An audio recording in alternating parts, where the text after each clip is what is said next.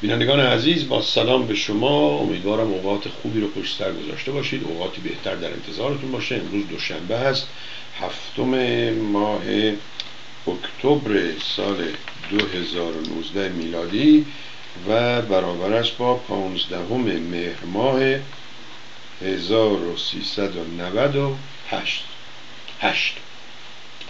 بگید ببینیم که اوضاع و احوال چه خبره. در عراق گویا شورش شده یا تظاهرات؟ شما تفاوت شورش با تظاهرات رو می‌دونید؟ اگه می‌دونید برای ما هم بنویسید تا ما هم یاد بگیریم. قبل از برنامه داشتم با آقای سعید کاوسی کل کل, کل, کل می‌کردم و راجع به دروغ صحبت شد و گفتم آقا همه میگن دروغ نگین. ولی حقیقتا فکر کنید ببینید آخرین باری که دروغ گفتید کی بوده. خود بنده از صبح تا حالا چهار پنج تا دروغ اگه نگفته باشم به قول آقای مصطفی زاده اصلا امورات زندگیمون نمیگذره. ایشون گفت که پیش نیومده. از اون politically correct OK امیدواریم اینجوری باشه ولی فکر نمی کنم آقای کاووسی. مخصوصا مخصوصا اگر با دوستان ایرانی در تماس باشی اگه دروغ نگی خیلی از دلخور میشن. قدیما یه فیلمی بود. ما بیشتر برای که انگلیسیمون خوب بشه اینو نگاه می‌کردیم. خب فیلم جالبی هم بود. تریز کامپانی اون موقعی که این گیا و نمی‌دونم هم جنسگراها و اینها خیلی چیز نداشتن یه آقایی برای که بهش اجازه بدن با دو تا خانم به اصطلاح هم هم اتاقی بشه و هم خونه بشه هم اتاقی نه هم خونه بشه آمد و گفت که ایشون گی هست. بعد خب دیگه داستانای جور و جور و داستانای بسیار قشنگ و اینها. و یه دفعه این تصمیم گرفت که به همه حقیقت بگه. خب شروع کرد از همین هم خونه هاش هم خونه ای چون اینجا هم اتاقی هم دارن. بعضی دو نفر یه اتاق می‌گیرن توی اتاق زندگی می‌کنن. شروع کرد به اینا حقیقت رو گفتن.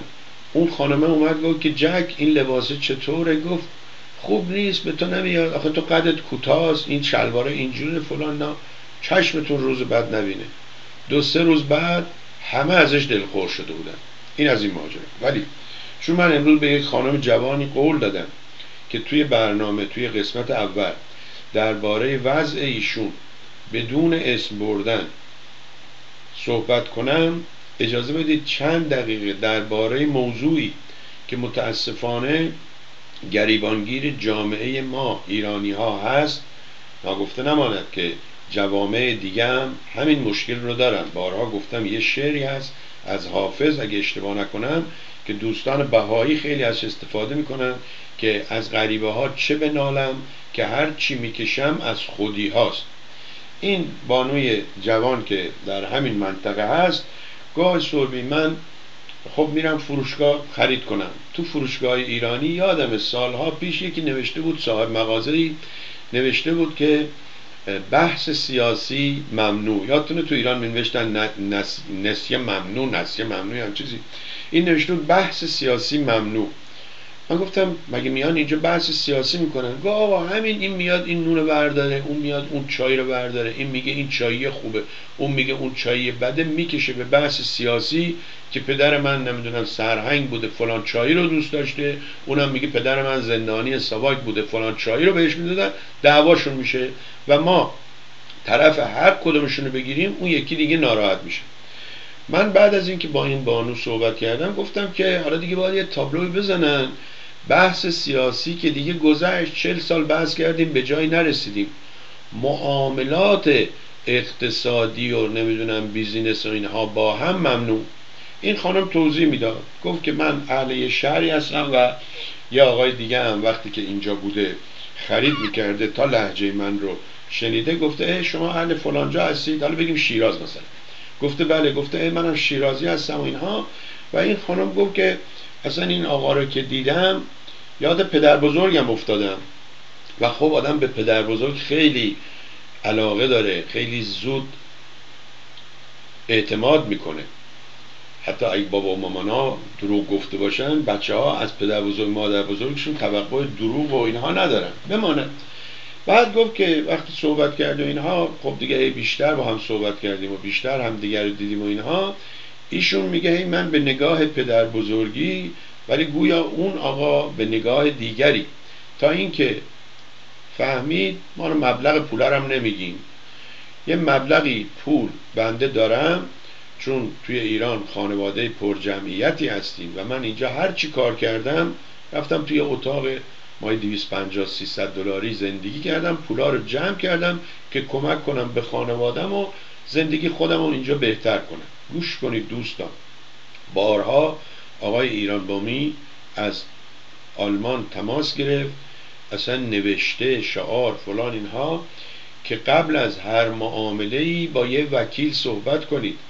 200 دلار 300 دلار اگه بدید پیشگیری کنن از یک معامله ای که شما اون بعد از چند ماه سی هزار دلار 20 هزار دلار 40 هزار دلار 100 هزار دلار از دست می‌دید خب خیلی بهتره تا اینکه برید قراردادی ببندید و اون قرارداد طرف به سود اون باشه. چون اونایی که کلاشن اونایی که شالاتنن درست مثل ترامپ شالاتان راه هیله و فریب و سوء استفاده و لوپ هول از قراردادها و حتی از قانون بلدن. شما نگاه کن الان سه سال 500 600 نفر نماینده مجلس که اینها نمایندگی میلیون ها نفر رو به عهده دارن حریف این نشدن که آقا ورقه مالیاتی تو بیار نشون بده. حالا همین امروز نوشته بود که دادستان نیویورک هم می‌خواد. گفتیم بابا اینی که پارسال هم می‌خواست. در هر صورت. گویا این خانم وقتی که به این گفته من یه مقدار پول دارم و اینها اون آقا بهش گفته که بیا این پول تو بده به من اینقدر بهت حالا ایشون میگم من که دنبال سود نبودم. خب خانم به خودتون دروغ نگید. حقیقت شما دنبال سود بودی و الا چرا پولتون رو بدیم به این؟ بده و بعدم گفته که این پول در چند مدت چند برابر میشه یا سودش اینجوری و اینها. خلاصه با هر فریبی بوده این پول رو از ایشون گرفته. بعدم بهش گفته که یه وقت فکر نکنی یا بیا اینها من با شرکتم با شما قرارداد میبندم. دوستان این اولین اشتباهه. شما فکر می‌کنید وقتی یه نفر شرکت داره این آدم معتبریه. شما بیا من امروز زنگ می‌زنم 75 دلارم رو اینترنت میدم یه شرکت واز می‌کنم به نام شرکت شالاتان بعد با اون شرکت میام با شما قرارداد میبندم. پولتونی که گرفتم پول رو می‌خورم. پس فردا شما وقتی برید دادگاه بگی سوربی پول من خورده میگن قرارداد قراردادی که می‌بری نوشته شارلاتان corporation. شارلاتان LCC LLC Limited Liability Corporation. خلاصه این بنده خدا میگه حالا کارمون میگه ها بعد از یه مدتی دیدیم که نخیر ایشون نگاه پدر بزرگی به ما نداره. نگاه دیگه ای داره حرفای بد می‌زنه جوکای سکسی و فلان اینها میگه و گفت من بیشتر آزرده شدم و گفتم آقا من نمی‌خوام من واقعا هم راست گفته خانواده بزرگی دارن در ایران و این پول می‌خوام. گفته من که این پول گذاشتم تو سرمایه گذاری و نمی‌دونم اینجور و اینجور خلاصه. بعد دیگه بهش گفته اصلا به من زنگ نزن با من تماس نگیر برو با وکیلم صحبت کن. ما ایرانی هم یه چیزی یاد گرفتیم. فوری برو با وکیلم صحبت خلاصه این بنده خدا هم مجبور شده بره وکیل بگیری حالا ببینید دوستان. یه آدم مسن هفتاد 80 ساله پول یه خانم جوون بیست و چند ساله سی ساله رو بگیره بعدم بهش نظر داشته باشه بعدم بگی حالا برو بگیر اگه می‌رسی زوره این بنده خودم رفته وکیل گرفته و اینها. دوستان غریبه ها نمی‌تونن کلا سر شما بذارن. من اینو به این شاه های احمق صد بار گفتم. اونایی که با شما مخالفن به شما صدمه نمی‌زنن اونی که باهات موافق نقش موافق بازی می‌کنه اون ممکنه مزدور جاسوس نمی‌دونم آدم فروش اون باشه. مواظب اونها باشید. مواظب خودی ها باشید. مواظب اونایی باشید که ادای خودی ها رو در میارن. و الا اونی که غریبه هست اونی که مخالف شماست که نمی‌تونه بهت صدمه بزنه. در صورت این بنده خدا مونده و من بهش گفتم ببین دوست عزیز شما می‌تونی بیای تو برنامه اسمشو ببری حرف بزنی ولی فردا اینم برات یه دردسر میشه. بعد ایشون گفت که نه خب نمی‌دونم بیزینس اینجوری داره اونجوری داره. گفتم خانم الان دیگه من نمی‌خواد دنبال نمونه بگردم. نگاه کنید این شارلاتان ترامپ هم همه فکر می‌کنن به به Trump Building Trump International فلان. خود من دیروز همین Trump International Hotel بودم. یه همبرگر میده 50 دلار. البته ما که نون خرما خودمون برده بودیم مثل Jesus نشستیم نون خرما خود بمانم اینا با پول مردم اصلا یه ضرب مسئله بدی بود می‌گفتن با چیز مردم داماد شده. حالا چیز مردم پول مردم بوده عروسی گرفته چیز مردم بوده فلان شده دیگه. شما خودتون در حد بی تربیتیتون هر چی که می‌خوان حساب کن یا در حد تربیتتون هر چی می‌خوان حساب خلاصه این بنده خدا گفت که آی سوربی من برای خودم نمی‌خوام. شما لطف کنید. بگید در برنامه که دیگران گول این افراد رو نخورن. من به ایشون گفتم خانم می‌دونید من برنامه هم خیلی روکراسه شما شدی مثل مال ای که در ایران به طمع 20 درصد 10 درصد 25 درصد سود بانکی پولش را برده داده دست این آقازاده هایی که چپ و راست بانک درست کردن. راه دوری نرین. همین شازده شازده رضا تنبل اینجا بانک درست کرد. اینم از همین خودیا. آقای شعبازی از این از اون پول گرفت پولا رو کشید بالا. بعدم گفت من ندارم مال بانک بوده ضرر شد رفت. مواظب باشید با یه وکیل صحبت کنید. قرارداد می‌ذارن جلوتون. من سالها پیش یه ماشینی داشتم می‌خواستم بفروشم. یه آقای ایرانی اومد گفت آقا من می‌خوام. گفتم خب بفهم این قیمت و اینها. گفت قیمتش خوبه. گفتم خب. من پول ندارم. گفتم اینجا وقتی می‌خوای ماشین بخری میری تو, تو بانکت میگی که من ماشین می‌خوام بخرم. میگن اون که می‌خواد بفروشه به ما بگه قیمتش چند سندش کپیش بیا بهت میدیم. گفت من جدیدم credit ندارم اینا. گفتم ما من خودم برات finance می‌کنم. finance می‌کنم من برات قسط بندی می‌کنم. بعد گفتم که شما یه کاغذی بنویس. گفت سربی شما به من اطمینان نداری؟ گفتم آقا من به تو اطمینان دارم که می‌خوام ماشینم رو بدم ماهیانه ازت پول بگیرم. به نظر می‌رسه تو به خودت اطمینان نداری که حاضر نیستی حرفی رو که می‌زنی رو کاغذ بنویسی. درست میگم؟ گفت نه آقا حالا بیار بنویسیم. گفتم نمی‌نویسم دیگه با تو. ماشینم به تو نمیفروشم. برو ماشین از یه کسی بخر که یه ماشین سه هزار دلاری رو بهت بفروشه دوازده هزار دلار. بعد از دو هفته هم بیاد ماشین رو از زیر پاد بکشی برو بیرون. برو به آقا اینجا نگاه کنید این برنامه جاجودی بابای دخترشو میاره دادگاه. دختر خواهرشو میاره دادگاه. خواهر شوهر نمی‌دونم ننشو میاره دادگاه. چرا 300 دلار بهش دادم قرض بره ماشینشو درست کنه بره سر کار وقتی رفته ماشینش درست کرده به من نمیده پولو. میگه چرا پولش نمیدی؟ میگه من که نگفتم به هم پول بده. این به من کادو داد گیفت داد. عجب روزگاری شده واقعا. در صورت این بنده خدا پولش رو از دست داده. حالا یه پول دیگه هم باید بره بده وکیل. گفت البته وکیلم با وکیلش صحبت کردن. گفتن این حاضر مایه انقدر بده. گفتم خانم بگیر. همون مایه انقدرم بده. کسی که شما میگی تو این سن سال پس فردا میفته میمیره. شما به جایی که بخوای مثلا سی هزار دلار تو یک جا بگیری اقلا تا حالا دو هزار دلار سه هزار دلار پنج هزار دلارش گرفته باشی. امیدوارم نصیحت رو گوش کنن. اینم از این ماجرا. و اما اینجا نوشتم خانم جوانی که پولش را خوردند دوستان باورتون میشه این اسرائیل حتی به آمریکا هم خیانت می‌کنه. خیلی ها یعنی این کلیمی ها خب می‌دونید پدر شاه رو این کلیمی ها در بردن دوستان یهودی صهیونیست و از همون روزی که این کمک کرد به اون کی بود ناصر؟ نه ناصر نه.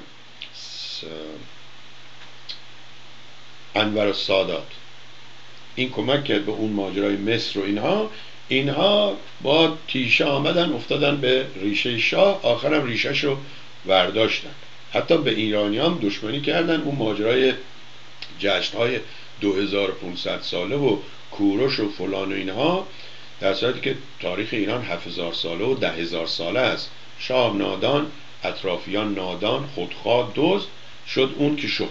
و اما اسرائیل حتی به آمریکا هم خیانت می‌کند. امروز در خبرها بود که یک کشتی کشتی رو که غرق کرده بوده اسرائیل و به آمریکا گفته بوده ما نمی‌دونستیم این آمریکاییه. الان مدارکش و صحبت های بین خود اسرائیلیا که در هنگام این غرق شدن کشتی بوده نشون میده که اسرائیل به آمریکا دروغ گفته و خیانت کرد. و اما عراق شیر تو شیر لردگان لردگان لردگان اعتبارا لردگان دفتر امام جمعه را آتیش زدن. دفتر ولی این دیگه احمقانه نیست که آدم بره کلینیک اداره بهداری رو آتیش بزنه. ماجرا رو من نمی‌دونم. و چقدر خوب ما از دیگران یاد بگیریم. یه روزی دو سه هفته پیش به آقای لادن تو برنامه گفتم. گفتم آقای لادن نظرتون راجع به این شورای گذار چیه؟ گفت اینا که هنوز نشستی نداشتن و اینها. ببخشید بذارید نشستشون رو برقرار کنن بعدا نظر میدن این آدمای با تجربه و با منطق اینجوری هستن. و من نمی‌دونم ماجرای چی بوده اچ آی وی ایدز و اینها. گویا سرنج آلوده بوده و اینها. و این دوستان خبر ندارن. تو خود آمریکا هر روز یه چیز ساده براتون بگم. ما سالها پیش اون موقع تلویزیون کانال یک چیز بودم رنگارنگ رفتیم این بیمارستان رستون. این پای چپ ما واریس داشت. رگش رو در بیارن. اشتباه محض بود. نرین این کار رو نکنید. خلاصه ما رو که خوابوندن که می‌دونید میان و حرف می‌زنن و فلان اینها تا بعد نوبت بیهوشی یا بیهستی موضعی بشه. بسیگ به نوع جراحتون داره. دیدیم خانمه یه ماژیکی برداشته رو پای ما راست ما داره خط می‌کشه. گفتم چیکار می‌کنی؟ گفت خب می‌خوام رگش در بیارم. گفتم این پایه نیست که این پایه. گاهی وقتا میگم کاش گذاشته بودم در آوردن سورشون می‌کردم. ولی دوستان اگه یه ناخونتون رو هم به اشتباه بگیرن نمی‌دونم پول جایگزینش نمیشه. خلاصه شانس آوردیم. البته سه بار عمل کردن جالبه. دکترای ما یکیش یکیش دکتر برجز بود که انقدر جرم و اینها کرده بود که گویا گرفتنش. فکر کنم بعدم مرد خیلی پیر بود. یکیش یه دکتر ایرانی بود حالا اسمشو نمیگیم. اونم شنیدم به اصطلاح سو استفاده های ورگه های به اصطلاح بیمه و اینا حساب کتابار دلا سلا حساب کرده بود. و یکیشم یه دکتر هندی بود. یه دفعه گفتم برم جویا بشم ببینم این دکتر هندی هستش. چون سه تا جراحی کردم پای من بدتر شد. بمانه. خب بذارید تشکر کنم از دوستانی که حمایت از برنامه کردن و از شما هم تشکر کنم. اگر برنامه ها رو می‌بینید هم شیر کنید با دیگران به اشتراک بذارید. هم اگر مایل هستید حمایت کنید. و اما دوستان امروز ساعت سه بعد از ظهر با آقای امیر حسین لادن هستیم. آقای امیر حسین لادن هم درباره این شورای گذار می‌خواد صحبت کنه. هم یه مقاله ای رو در گویا نوشتن. من در فیسبوک هم گذاشتم. برید ببینید که متنش ایه یعنی تیترش دوران نادانی سپری شده. خیلی داستان جالبی رو توش به اصطلاح گفتن و نوشتن که وقتی نگاه می‌کنیم بعض وقتا میگیم چجوری مثلا این آدمه با این آدمه تو این جلسه هست؟ بعد این داستانه همینه که توی گویا نوشتن و در موردش هم صحبت می‌کنیم. و اما شورای گذار دوران نادانی ماجرای اینکه دزد و دیو چگونه با هم همگام میشن. دیدید که آقای بچه آیت الله آقازاده با شازده البته میگن شازده همچین چیزی نگفته. حالا ببینیم که کی درست میگه کی غلط میگه. دوستان من گاهی وقتا از این تیزهوشی و به اصطلاح ذربینی و نکت سنجی دوستمون آقای پتیک واقعا دیگه کلافه میشن. اون روز توی برنامه وقتی که راجع به این فرزندان کثیف و یعنی اصلا این خانواده به هم میانا شالاتان ترامپ و این فرزنداش که یکی از یکی دیگه بدتر بی و بمانند صحبت می‌کردیم ما یه جا گفتیم که اینا میرن این حیوانایی رو که به اصطلاح نسلشون رو به به جای کلمه انقراض گفتم انقضا.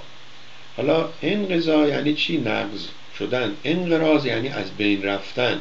این رو آقای پتیک متوجه بود به من گفت که به این وسیله تصحیحش می‌کنم و از ایشون هم ممنونم و از شما هم عوض می‌خوام. ماجرای این که بعضیا میرن این حیوانای بزرگی که در آفریقا هست و اینا یه پول زیادی میدن. یادم میفته به به شکار شکارهای برادر شاه. بایدتون شاد گفته باشم گاهی وقتا که شاه میمده ایران پدر من رانندگی می‌کرده اینو میبرده دشت ارجنگ و اینها. چون اون موقع پدر من برای به اصطلاح فروغ و قوامی و اینها کار می‌کرده. خلاصه تعریف می‌کرد بابام که وقتی میومد دشت ارجنگ یه سری محلی ها رو که میشون میگیم دهاتی ها دهاتی ها رو استخدام می‌کردن که اینا بلدن چه مثلا مثل تبل بزنن و سر صدا کنن از یک محیط دوری را بیفتن بیان این شیر بیچاره یا هر چیزی که فکر کنم دشت درجن شیراز شیرم داشته. توی اون بیشه بوده بیاد. یه جایی این آقا هم وایساده اونا شیر میارن جلوش تقی می‌زنن بعدم عکس می‌گیرن. یه نفر عکس آقای رضا پهلوی رو در بچگی با این حیوانایی که زده بگیرید بذارید اینجا که ببینیم اینا که امروز از سگ کشی در ایران به اصطلاح شکایت می‌کنن ببینید خودشون از بچگی چه کار می‌کردن. در صورت این کلمه رو گفتم انقراض درسته. یعنی منقرض میشه از بین میره. و اون کلمه رو من به اشتباه انقضا گفتم. انقضا مثل که یه چیز که مهلتش میگذره. میگه تاریخ تاریخ به اصطلاح این این تاریخ انقضا یعنی مهلتش میگذره. خب عراق شیر تو شیر شده. خب حالا این لردگان و عراق اینها من یه دوستی دارم چون خاطرش رو خیلی می‌خوام. توی قسمت پیامای شخصی که برای من میفرستن سعی کردم چیزای سیاسی رو جواب ندم. احوال خانواده باشه به اصطلاح سالگرد ازدواج باشه تولد باشه مسافرت باشه بهشون تبریک میگم و اینها. ولی چیزای سیاسی رو اصلا پاسخ نمیدم. دلیلش هم اینه که خب من یه صفحه دیگه دارم مردم تیوی. این برای سیاسی و چون سیاسی حرف مفته. حرف مفته. من همین دیشب تا ساعت ده باور کنید با یک کانگرسمنی بودم که اصلا اون موقع به خودم گفتم نگاه کن اینا هم زندگی ندارن یه شنبه خود منم داشتم کار می‌کردم. یه شنبه این کانگرسمن ساعت ده شب البته از هفت شب شروع شد. هفت شب آمد یه جایی با مسافران و مهمونایی که از تگزاس و اینجا آمده بودن رفت شام خورد در یه رستورانی.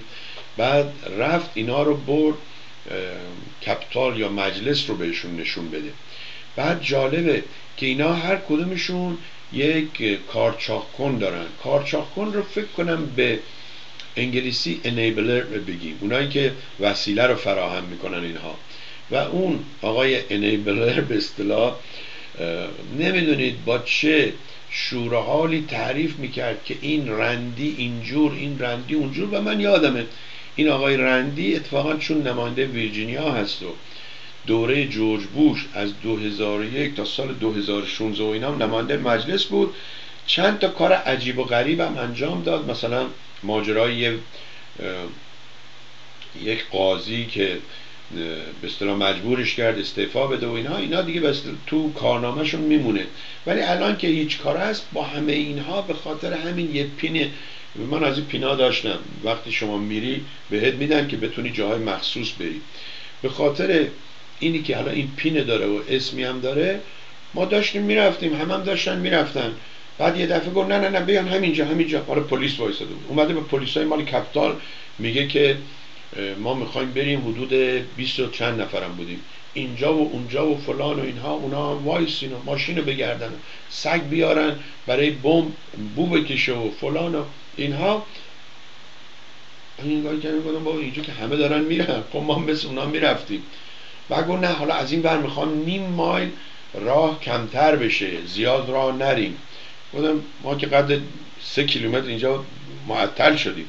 بمانه این حالا ماجرای سیاسی و اینها رو داشتم می‌گفتم. این دوست ما وقتی چیزای سیاسی میفرسه متوجه نیست.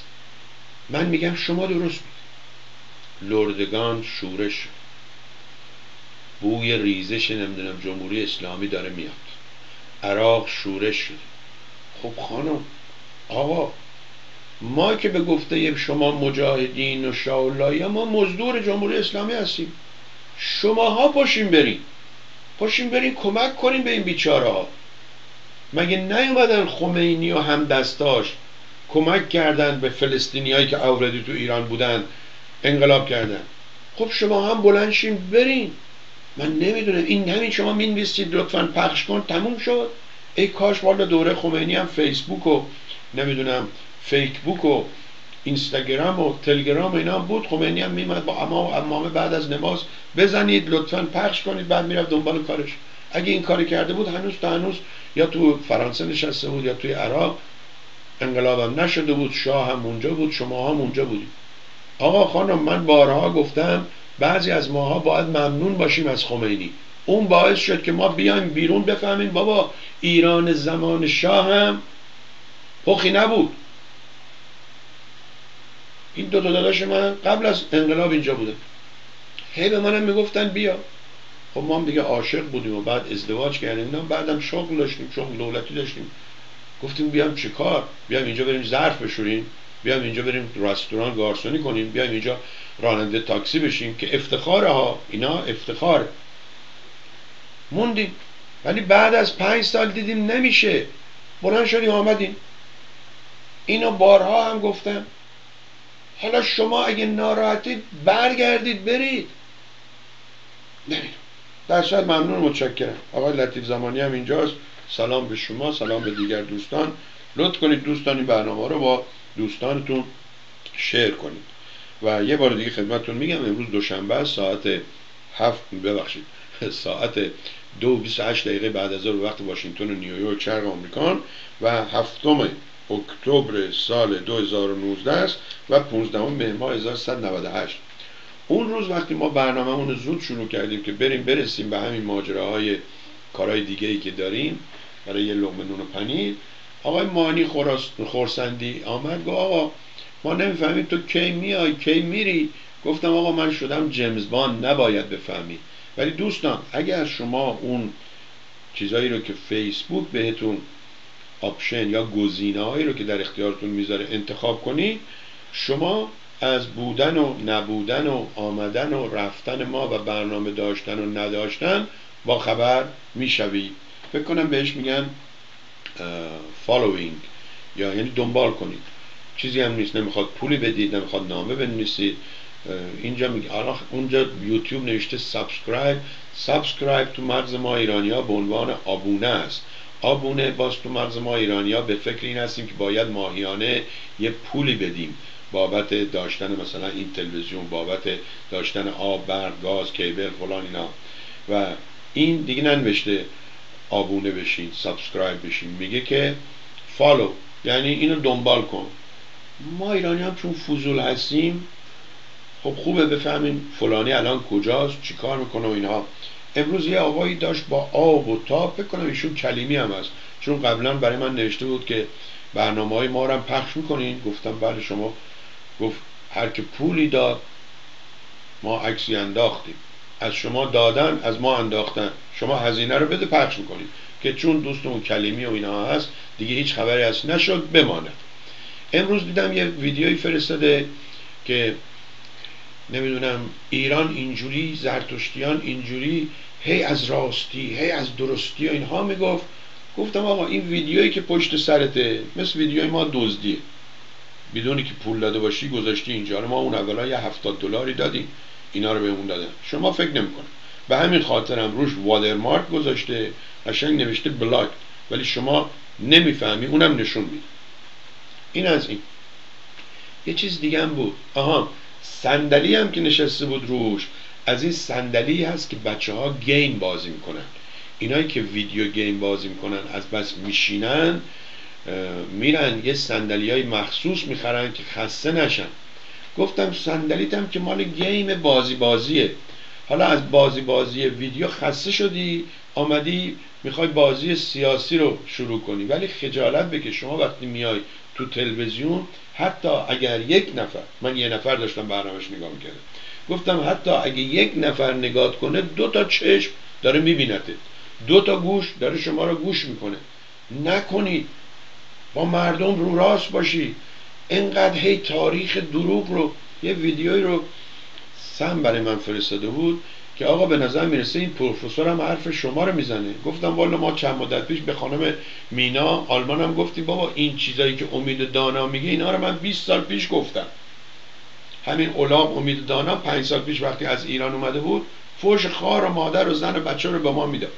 حالا برگشته 180 درجه به حدی که اصلا همه موندن. اون پروفسور هم همینو میگه. میگه آقا خانم اصلا قوم یعنی ریسی به نام ریس آریایی وجود نداره نمیشه باشه. مگر اینکه شما اینقدر احمق بوده باشی یه جورای دوستان کلیمی این کارو می‌کنن. هی تو خودشون ازدواج می‌کنن. این وست ویرجینیا تو خودشون ازدواج می‌کنن. بچه هاشون اینبرید میشه. یه آقایی بود زیگفرید اند روی. دوتا توی لاس وگاس اینا نمایش می‌دادن. پلنگ و ببر و نمی‌دونم شیر و اینها. که یه دفعه میگن این درست چیز نکرده یکی از این ببرا یا پلنگا بهش حمله کرد و بعد الان هم کج موج را میره و اینها دیگه شوشون هم تعطیل شد. ولی خب این حیوانایی رو که آورده بودن چون توی منطقه هستن اینها بعد میگه اینها اینبرید شدن.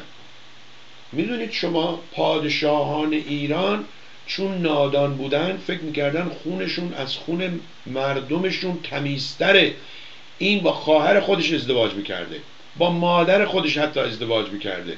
داخل هم ازدواج می‌کردن که یک وقت خدای نکرده خون تمیز اینها آلوده نشه. در صورتی که اسلام به این عقب افتادگیش درسته که از اون میگن گفته عقد پسر و پسرم و دخترم و نمی‌دونم اینا تو آسمون بسته ولی از اون میگه هر چی شما برید دورتر ازدواج کنید بچه هاتون باهوشتر میشه. یا اینو یه نفر به نام اسلام غالب کرد. شما نگاه کنید هر کسی که نابغه است می‌بینید باباش مال یه جای دیگه بوده چیز مادرش مال یه جای دیگه بوده. با یه فرهنگ کاملا متفاوت. و این از دو تا فرهنگ یاد گرفته. شما یه دلیلی که اصلا به من و شما میگن کتاب بخونید و اینا می‌دونید چیه؟ برای که میگه کتاب شما حتی میری تو زمانی که نبودی تجربیات اون زمان رو کسب می‌کنی. البته قربونش برم کتاب های ما که کدومش درست میگه. شما بگین کدوم کتاب درست گفته؟ چه موضوعی؟ تا دربارهش صحبت کنیم که چند تا کتاب درباره همان موضوع هست که میگه اینا غلط هست و اشتباه. خب بریم بریم اینجا براتون چی گذاشتیم در فولدر یا پوشه برنامه های امروز. و اما آخوندا به چین قول دادند درباره کشتار مسلمان ها و رفتار بد چین با مسلمان ها صحبتی نکنند شارلاتان ترامپ به چین قول داده درباره رفتار بدشون با هنگ کنگ صحبت نکنند ببینید وقتی نگاه می‌کنی این دوتا چقدر شبیه همن. اصلا عملکردشون شبیه همن. آخوند این ور ترامپ شارلاتان این ور آخوند شیاد این ور ترامپ نمی‌دونم فاسد این ور عملکردشون یکی. فقط این صبح یه, ساعتی به خودش اسپری می‌زنه آخونده چون زرنگتره یه چیزی رو پیچیده طلاپی میندازه کلش میاد بیرون.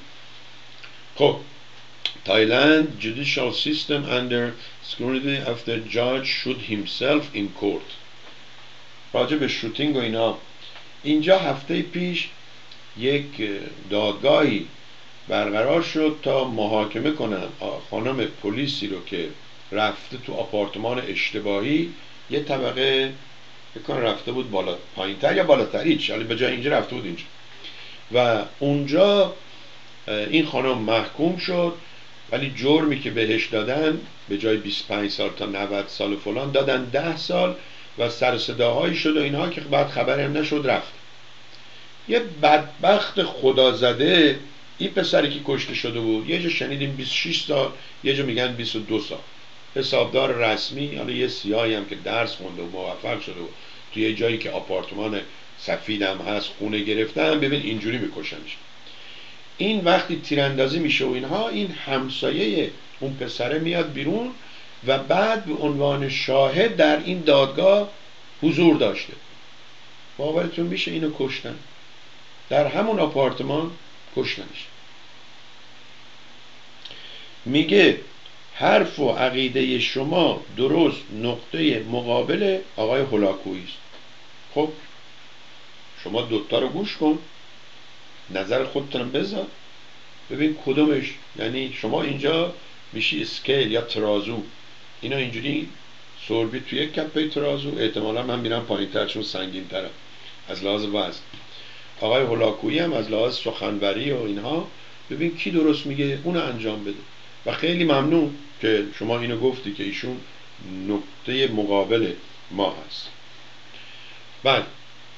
و اما این یه خبر بود که توی تایلند میگه judicial system یعنی قوه قضاییه.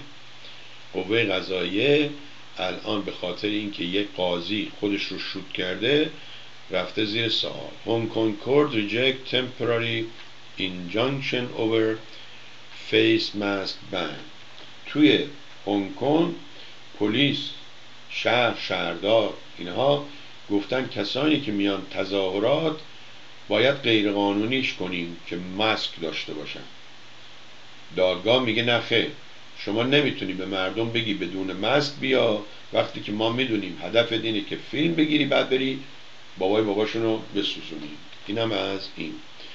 و اما clean victory in Portugal election میگه اون کسی که سوشالیست هست به اصطلاح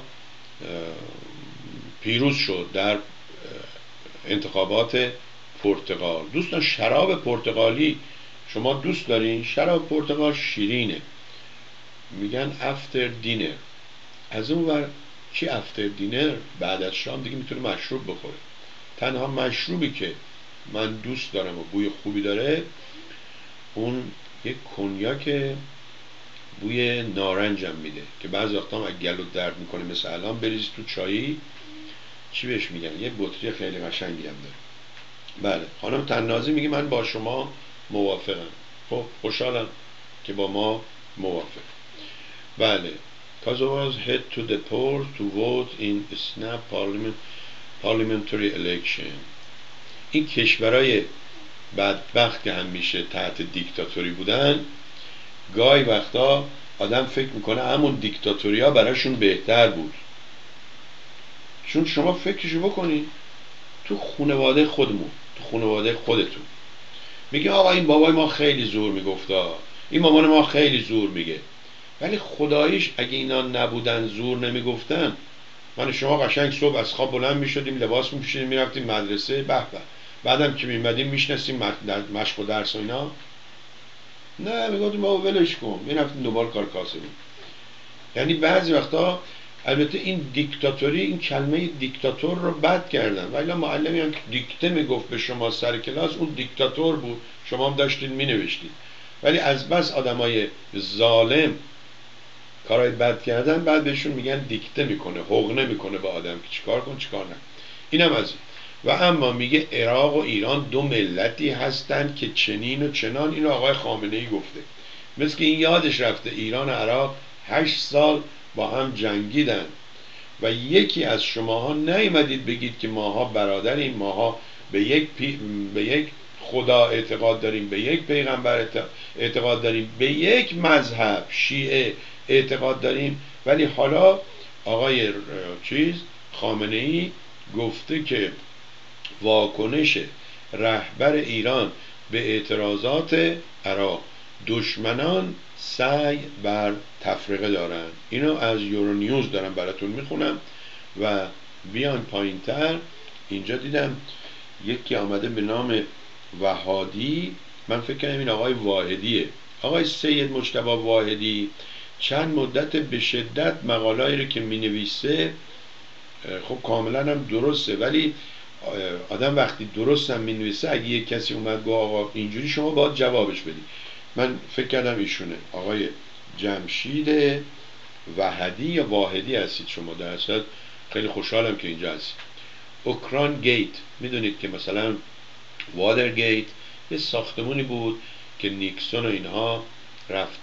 نیکسون administration دست اندرکاران حکومت نیکسون رفته بودن اونجا گوشی گذاشته بودن و جاسوسی کرده بودن اینا گندش بالا اومد و اسم اون ساختمونه شد ماجرا.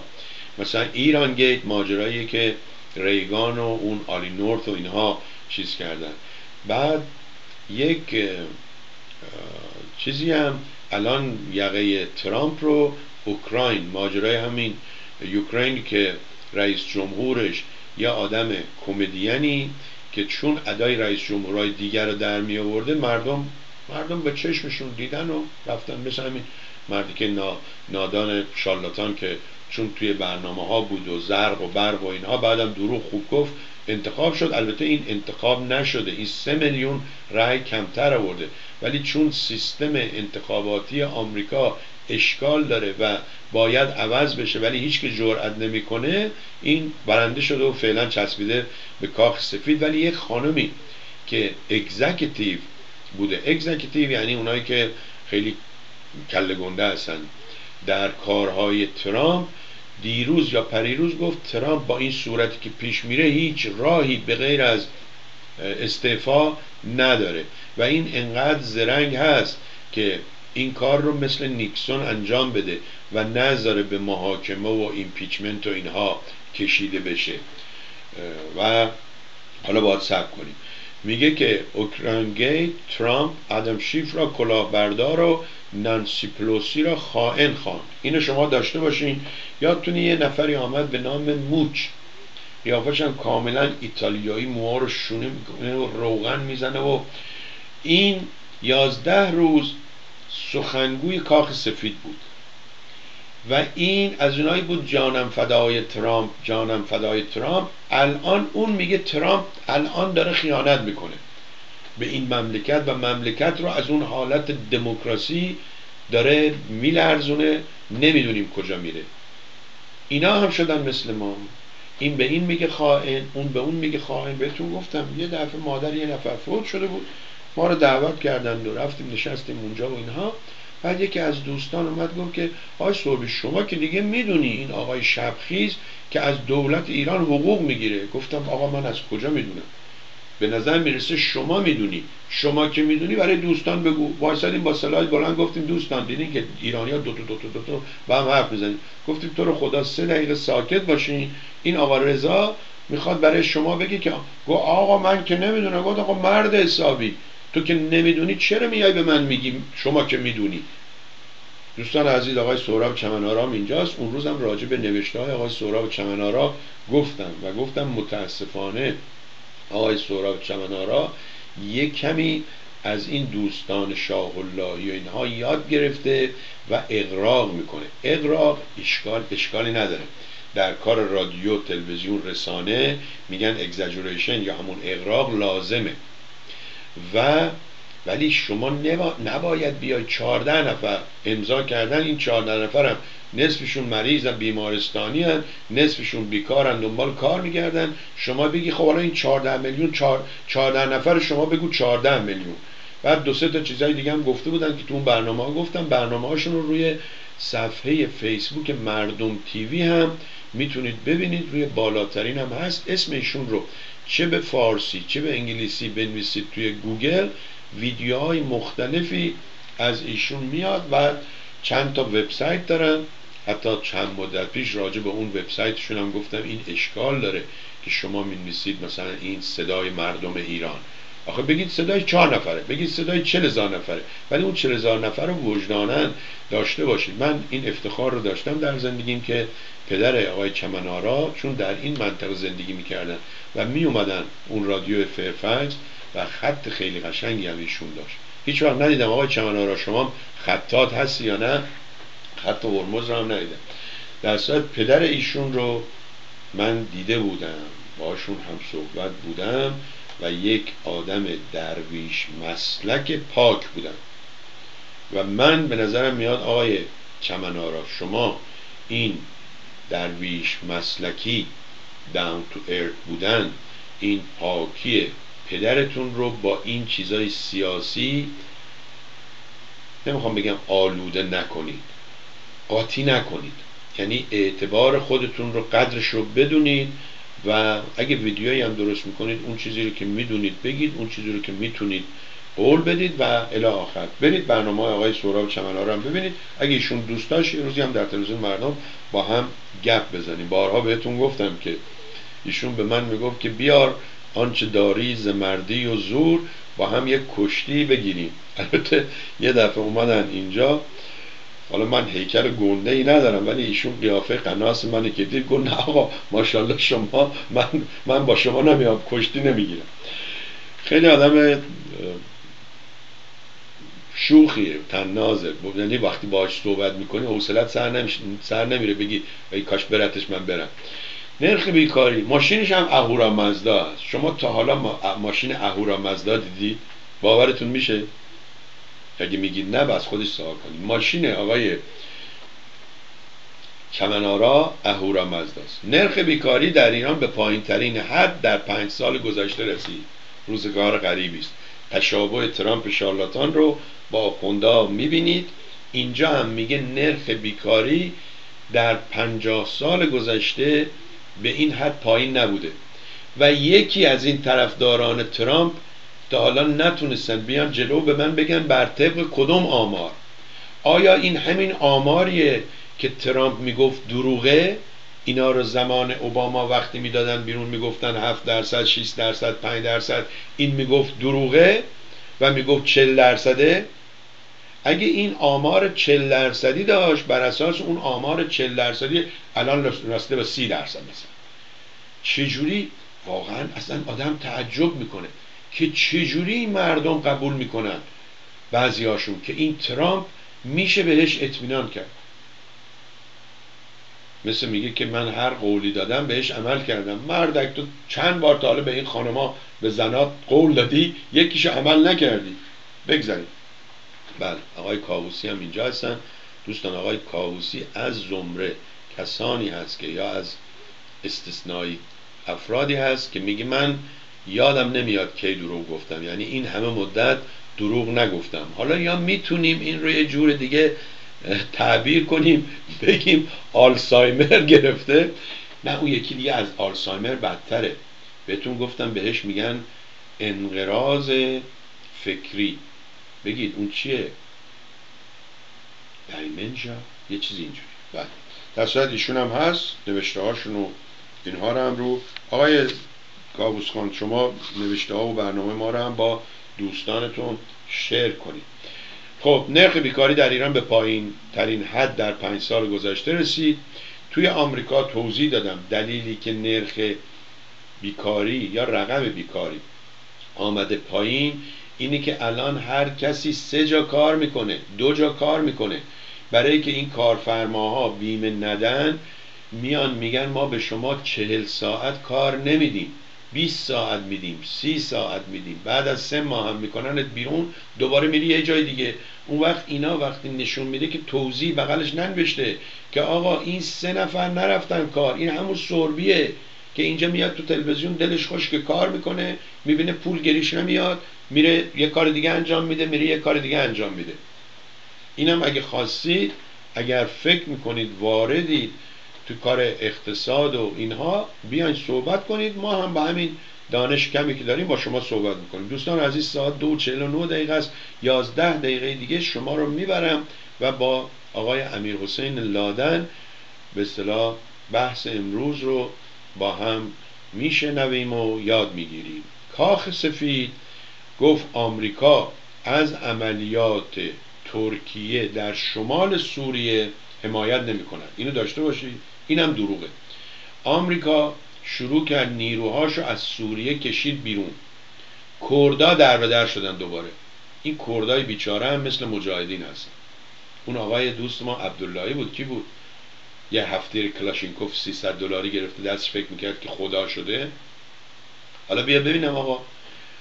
کردا در سوریه در به در شدن. چون آمریکا که اینا رو حمایت می‌کرد نیروها رو کشیده بیرون حالا کی باشه که این کردا هم یکی یکی قتل عام بشن؟ دوباره حرکت از نو. کی باشه یاد بگیرن؟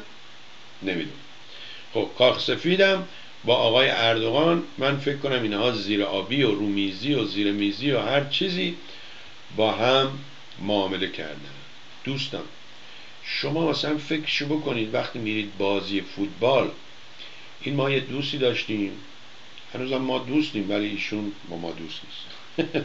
نه اون بنده خدا هر وقت ما رو دیده چیز نکرد. ایشون یه دوربینی داشت. دوربینش بیش از 100 سال کهنه بود. و این دوربین عکاسی یه قطی اینجوری چارگوش چوبی بود و فیلمش هم پانوراما. فیلم مثل اینجوری تومار. باز می‌شد دوازده اینچ توی سه متر. و عکس که می‌گرفت مثلا 500 نفر 400 نفر فارغ التحصیل مثلا رشته لا حقوق از دانشگاه مثلا جورج یا از فلان رشته. شما می‌تونستی تک تک اینها رو بشناسی. خب وقتا که اینجوری نه 500 نفر میگو طرف خودشو که اونجا وایساده بود نمی‌تونست پیدا کنه. میگو این منم. نه نه نه نه این حسن علیه. اون منم. ولی این دوربین اینقدر لنزش ذره بینش و اون فیلمش حساس بود که می‌تونستید 500 نفر 400 نفر اگه بودن صورتشون اینها رو یکی یکی تشخیص بدید. حالا اینو داشته باشید بیان جلو. چین یه دوربین درست کرده که توی استادیوم های صد هزار نفری صورت یکایک اینها رو می‌تونه recognize کنه. recognize یعنی تشخیص بده. اینجا یه نمایشی نمایش نبود. شنبه یک اکتبر فست که توی آلمان هم بوده و اینها. اینجا گذاشتن هردن گذاشتن اینها. و ماشین پلیس بود. و اونجا پشت ماشین های پلیس نگاه کنید. الان روی ترانکشون روی کاپوتشون دو تا دستگاه انقدیه. و اینا همینجوری که این داره رانندگی می‌کنه همینجوری از تمام ماشینا عکس می‌گیره. می‌نویسه که ساعت فلان سوربی کباب بازار بود ساعت فلان رفت واشنگتن فیلم گرفت ساعت فلان رفت فلان عروسی ویدیو ضبط کرد و الی آخر. و خدایش بهتون بگم به دلیل همین اینفورمیشن های زیادی الان توش موندن. بنده همین دیشب ساعت هشت تا ده که دم این مجلس و اینها بودم خب مجلس اون وقتا می‌رفتیم. همین دوست ما که کار عکاسی می‌کرد یه ماشینی داشت با ماشینش می‌رفت رو پله ها پارک می‌کرد یه پایه نردبون رو میذاشتیم رو اون یه پایه. الان همه جا رو بستن و اینها. و بعد یه مشتی اسپانیش و اینا رو هم استخدام کردن که حالا یا زوره بیپولیه یا اون ماچو بازی دوست داشتن پلیس بشن و دیگه شب بیخواب شدن و اینا رو نمی‌دونه خلاصه طرف وایساده این نر... وسط خیابون یه چیزای اون میاد بالا روش نوشته stop ایست و میاد اون یکی وای میسه پشتش این بدون هیچ چراغ قوه اینا میگه کاپوتو باز کن کاپوتو باز کنه اینجوری نگاه می‌کنه بعد به اون یکی میگه okay می‌بره. میگم آخه نن مرده بدبخت خدا ذلیلت نکنه خودت خودتو ذلیل کردی. اگر این آقایی که اینجا کار می‌کنه امروز می‌خواد بمب بیاره داخل میاد بمب می‌ذاره قشنگ تو کاپوت ماشینش و مینسه هم بمب. خب می‌ذاره جای لاستیک زاپاسش اقلا ولی دیگه اینها اون شوره حال قدیمو ندارن که بار دارن آینه ور زیر ماشین تو نگاه می‌کرد اینا اینو داشته باشین. بعد هاشون که میره دو سه نفر بیست چند نفر خودشونی که می‌شناسن اونی که میاد وارده اون تا از دور میاد ماشینش می‌شناسه میگه برو. میگم آخه اون کسی که تو تگزاس اون حسن بود کی بود؟ فامیلیش حسن بود. 20 نفر رو زد کشت و زخمی کرد و اینا. خب این تا روز قبلش یه آدم معمولیه. تو ارتش کار می‌کرده. یه دفعه میاد اونجا اون که فکر کنم اصلا با تفنگ ارتش هم زد دیگرانو قلقم کرد. خلاصه روزگار غریبی است. بله. عقل که نیست جون در عذابه. اصلا ناراحت نباش آقای کاوسی. چون عقل که نداشته باشی نمی‌فهمی که جونتم در عذابه. من به عنوان یک آدم بیعقل این رو به شما میگم. مقاومت ده روزه دلار در بازار آزاد. بانک های ایران کمبود یورو دارن. این هم خبرهایی بود که از یورو نیوز براتون خوندم. و اما دوران نادانی سپری شده. شخصیت های پاک و آگاه میهن نیز مشغول انجام وظیفه هستند. من فکر می‌کنم اینها وظیفه ای ندارن. می‌تونید بگید مشغول خدمت هستن. خدمت موقعی که شما یک کاری رو برای دلتون برای خودتون برای مملکتتون برای وطنتون انجام می‌دهید بدون هیچ دستمزدی. ولی وقتی میگید وظیفه بهتون بارها گفتم متاسفانه خدمت وظیفه توی ایران غلط بود. یا خدمت یا وظیفه است. و اینم موضوعی که با آقای امیر حسین لادن در موردش صحبت می‌کنیم. شما هم اگر سوالی دارید پرسشی دارید می‌تونید در حین برنامه از طریق فیسبوک مطرح کنید. بعد از برنامه با خودشون مستقیما تماس بگیرید و لطفا اگر یه چیزی یه جا نوشتید بعدا مثل دوستمون به اشتباه نیان بگین که در گفت و شنودی که داشتیم با آقای لادن. ایشون گفت ما آقا نمی‌دونم اصلا ایشون کی هست. و کجا همچین چیزی گفتن؟ گفتم نوشته ها من همه رو که نخوندم. باز شدن مرز خسروی در سایه ناآرامی های عراق. همزمان با طولانی شدن ناآرامی ها بذارید من این عکس رو هم بهتون نشون بدم. این مال عراقه. در صورت من دارم به شما دوستانی که طرفدار آرزا پهلوی هستید طرفدار مجاهدین هستید پیشنهاد می‌کنم بشتابید بشتابید تا دیر نشده. برید به عراق با اینها بفهم چی میگن؟ بپیوندید.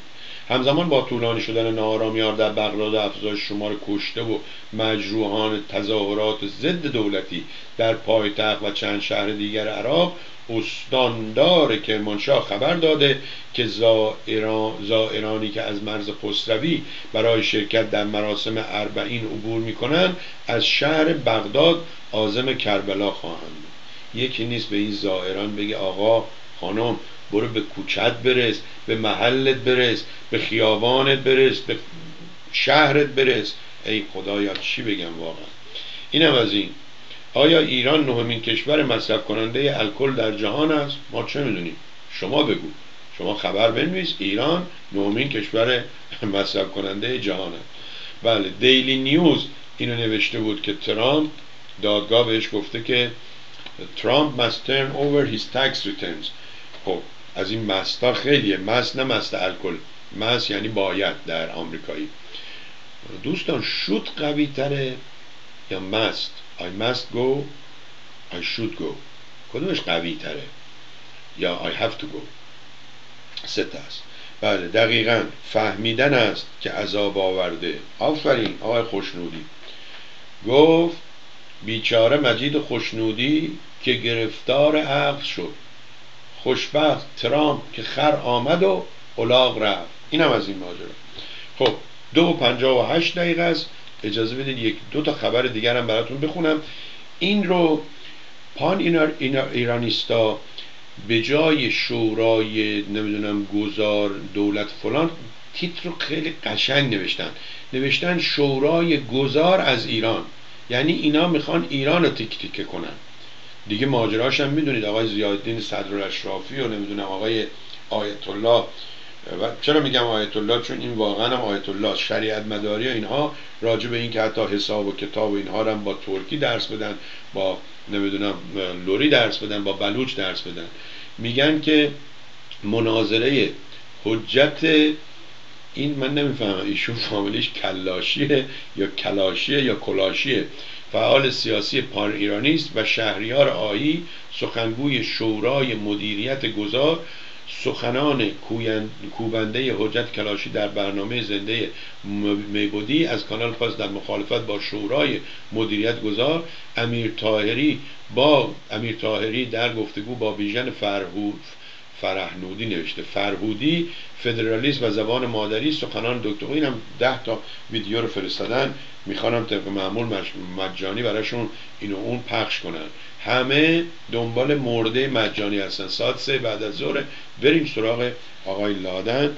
میکروفون ایشون رو هم بیاریم اینجا نزدیک و با هم بشینیم پای صحبت های آقای امیر حسین لادن بسیار عالی. اجازه من تصویر ایشون رو به سیستممون بدم و من هم مثل شما بیام راحت بشینم و از ایشون یاد بگیرم. اینجا اینجا. خب. دوستان عزیز با سلام و خوش آمد به آقای امیر حسین لادن. میکروفون رو در اختیار ایشون قرار میدم.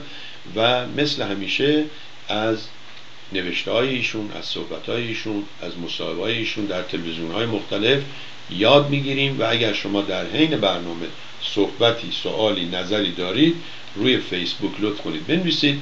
من از ایشون می‌پرسم. آقای لادن خوش آمدید. بفرمایید این شما و این هم شنوندگان و بینندگان تلویزیون برنامه درود بر شما جام سربی درود بر بینندگان و شنوندگانتون.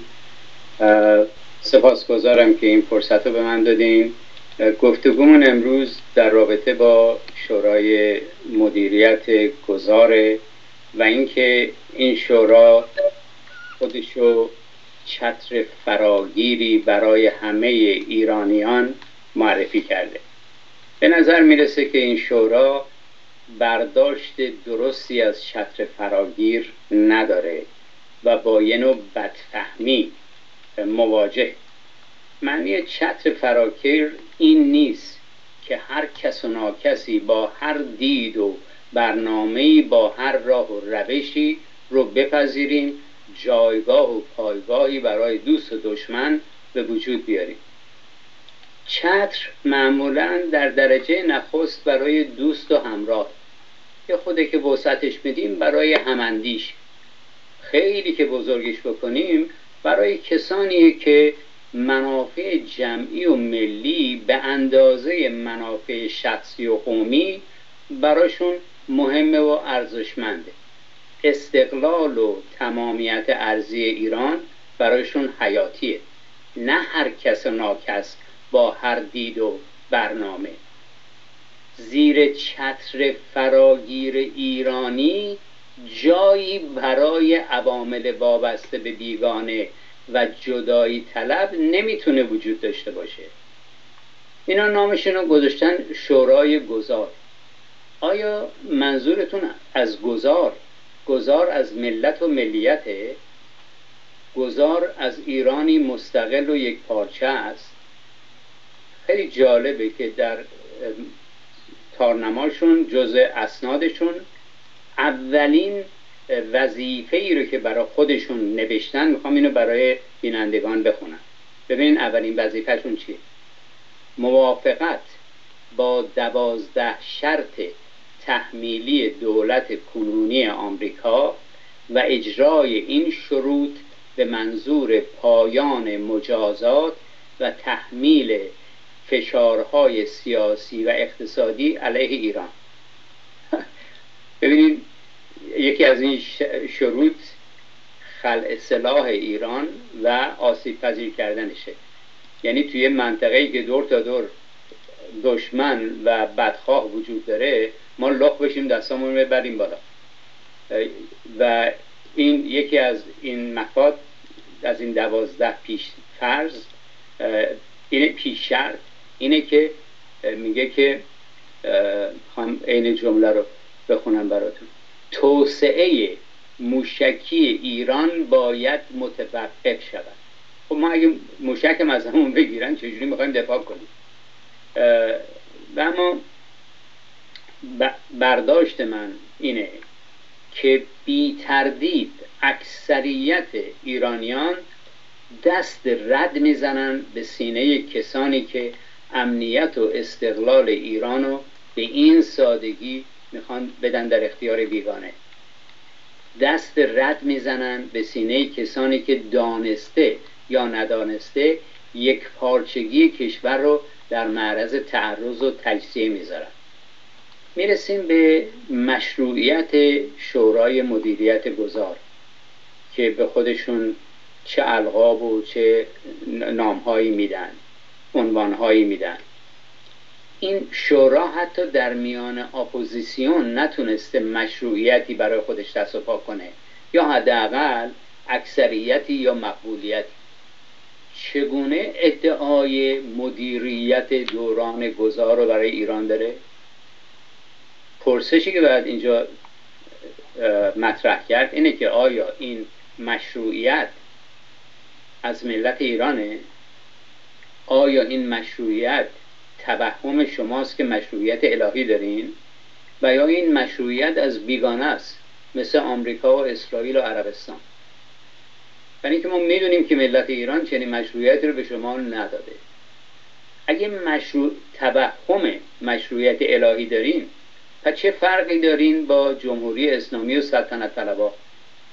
و دیگه در چنین شرایطی یعنی تحت مشروعیت الهی دیگه دومکراسی و حقوق بشری وجود نداره که. و اما اگر فکر می‌کنین که مشروعیتتون از بیگانه است همونجور که مثال زدیم آمریکا اسرائیل عرب. بعد خدمتون بگم که بیشتر ده ها ساله. حداقل 20 سال گذشته سه بار اتفاق افتاده. ولی الان ده ها ساله که در این تراشن با یک دونه پروژه تکه تکه کردن کشورهای خاور میانه از جمله یا به ویژه ایران. آرشیتکت این فاجعه اسمش هست برنارد لوئیس. برنارد لوئیس یک صهیونیست نژاد پرسته که اسم برنامه خودش و اسم پروژه خودش رو گذاشته بالکانیزه کردن لبنان یعنی تیکه تیکه کردن. و حتی ایشون رسما چهار دهه پیش بیش از چهار دهه پیش پیشنهاد می‌کنه خدمتون گفتم رسما که کشور ایران در چارچوب قومیت منطقه و زبان جدا جدا بشه و تقسیم بشه. خب اینجا یه پرسشی باید مطرح کرد برای فدرالیستا جدایی طلبا و به ویژه شورای گذار آیا این تنها اقلیت های قومی و زبانی هستند که در ایران از برابری و حقوق انسانی برخوردار نیستند؟ هممون می‌دونیم که پاسخ هست نه. این ملت ایرانه که از حقوق انسانی و شهرمندی محرومه. در ضمنی که نیمی از همیهنانمون زنان از حق انتخاب و برابری و عدالت اجتماعی هم محروم. و می‌دونیم که تا زمانی که حضور روحانیت در دولت هست و کشور مذهب رسمی داره دیگر مذاهب و باورها هم همینطوری تحت فشار و تبعیض و سرکوب هستند بنابراین مسئله قومی و زمانی و جغرافیایی نیست بلکه یه مشکل کلی ساختاریه. ربطی به فربهسازی تهران و بی توجهی به سیستان و بلوچستان و مناطق دیگه نداره. در این راستا پاسخ نمی‌تونه و نباید منحصر به یه بخش از جامعه باشه. یعنی راه نجات بر پایه یک سیستم مردم سالار و مستقل ایرونیه. سیستمی که مشروعیتش از تمام مردم باشه. زن و مرد. تمام مذاهب و باورها. تمام زبانها و استانها. سیستم اقتصادی و مالیش همگانی و مردمی باشه. با فرصتهای برابر و سراسری برای همه مردم ایران که صاحبان اصلی این آب و خاک هستند فکر کردم در اینجا متوقف بشم. اگه پرسش و گفتگویی هست بخش دوم می‌خوام راجع به حلیم صحبت کنیم. خیلی ممنون. من فقط قبل از اینکه با شما هم صحبت کنم به دوستان گفتم ممنونم از آقای لادن که وقتی من از ایشون قبل از نشست این شورای گذار سوال کردم ایشون گفت که بهتر صبر کنیم و بعد می‌بینم که امروز چقدر قشنگ اینا رو روی میز تشریح دارید یکی یکی باز می‌کنید و اونجایی که شما گفتید که اینها به اصطلاح از مردم مشروعیت می‌خوان داشته باشن یا دارن یا اینا هم فکر می‌کنن که موهبتی آسمانی نصیبشون شده دوستان اینو دوباره در موردش فکر کنید. و یک مقاله هم برای شما فرستادم تیترش خیلی قشنگ بود. این شورای گذار رو نوشته بود شورای گذار از ایران. اگه دوست داشته باشید در اون مورد صحبت کنید دوستان اگر سوالی یا نظری دارید بفرمایید تا بپرسم از آقای لادن. بفرمایید. حتما. منم اتفاقا در نوشتم. البته من از اون نوشته اطلاعی نداشتم تا امروز که شما اشاره کردیم ولی منم در اینجا نوشتم که این منظورشون از این گذار دارم دنبال اون خط میگردن تو نوشتم که منظورشون از گذار چیه؟ آیا گذار از ملت و ملیت ها پیداش کردم. آیا منظورتون از گذار گذار از ملت و ملیت گذار از ایرانی مستقل و یک پارچه است؟ و این واقعیته که این مقاله هم که شما بهش اشاره کردین تیترش درست من خودشون مطالعه نکردم. ولی ما باید واقعا تکلیف خودمون مشخص کنیم. و اما اگر اجازه بدیم بریم راجع به حلیم یا آشی صحبت کنیم که من اسمش گذاشتم حلیم یا آلترناتیو سازی. بفرم. این حلیم در رابطه با به بنبست رسیدن احتمال مذاکره بین آمریکا و ایرانه. یعنی وقتی که شما می‌بینید یه امکان داره این شانس وجود نداشته باشه به قول خودشون میری دنبال گزینه های دیگر. میگم مثلا option اد.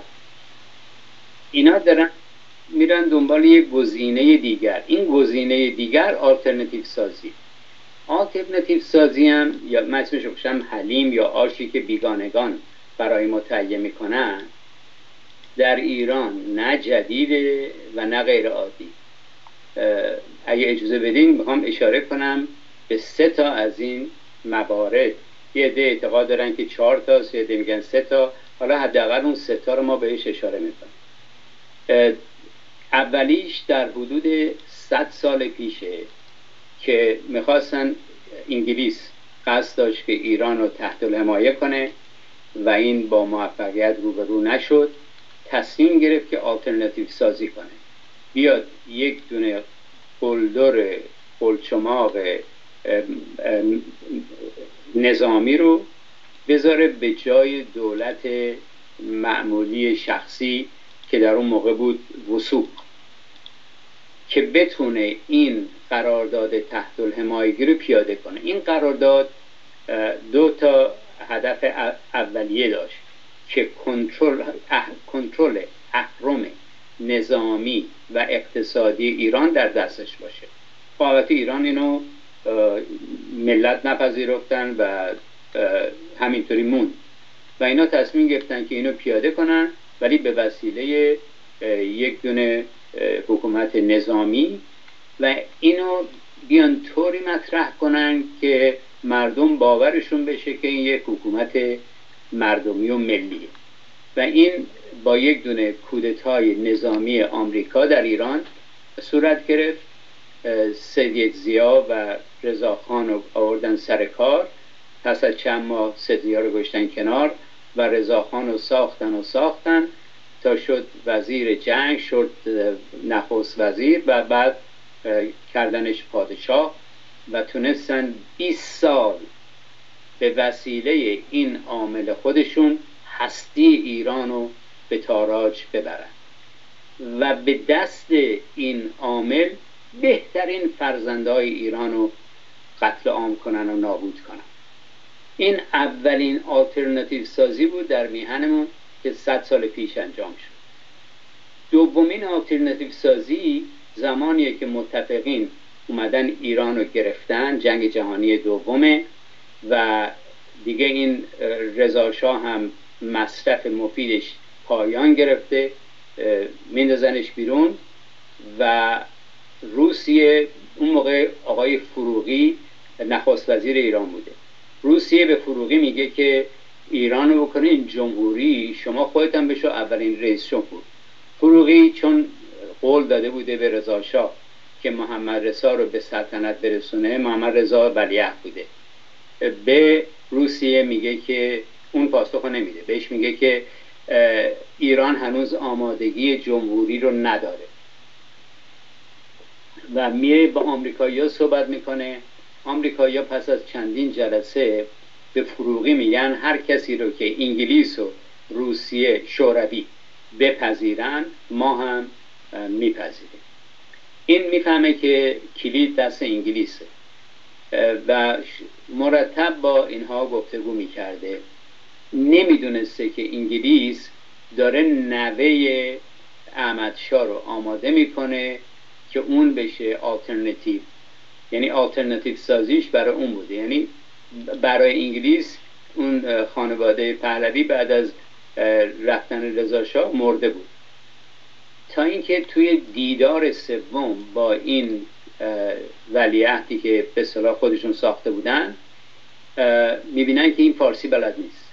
می‌فهمن که این به درد نمی‌خواد بعد روی اصرارهایی که فروغی به انگلیس می‌کرده از وزارت امور خارجه یک دونه نوشته ای میاد که وزیر مختارشون در تهران این نوشته رو میده به فروغی که میگه که ما در صورتی میپذیریم که این پیمان سماده ای رو محمد رضا امضا کنه و بپذیره و بعد ما اونو میشونیم به سلطنت. ایشون هم بدون وقفه اونو امضا می‌کنه. و این دومین آلترنتیو سازی بود در ایران که به وسیله انگلیس انجام شد.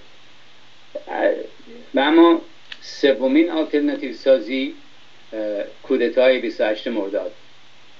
می‌دونیم که نهضت ملی شدن نفت دست انگلیس رو از نفت ایران کوتاه می‌کنه و به خاطر دسیسه و توطعه های انگلیس و دربار در ایران انگلیس رو از ایران بیرون می‌کنن و سفارت انگلیس رو میبندن. و انگلیس هم با تمام قوا از روز نهم نخست وزیری مصدق. اینی که خدمت میگم تا اینجا هر چی گفتم اینا همه اسناد رسمیه وزیر وزارت امور خارجه انگلیس وزارت امور خارجه آمریکا و نوشته های مستند دیگرانه. این بخشی که خدمتون میگم یک سند 970 صفحه‌ایه که از قسمت محرمانه بیرون آورده شدن آوردنش دو سال نیم پیش.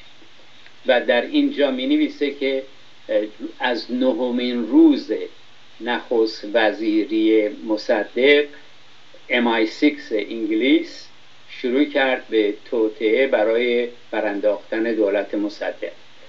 دو سال و سه ماه و 15 روز طول کشید تا این برنامه به نتیجه رسید.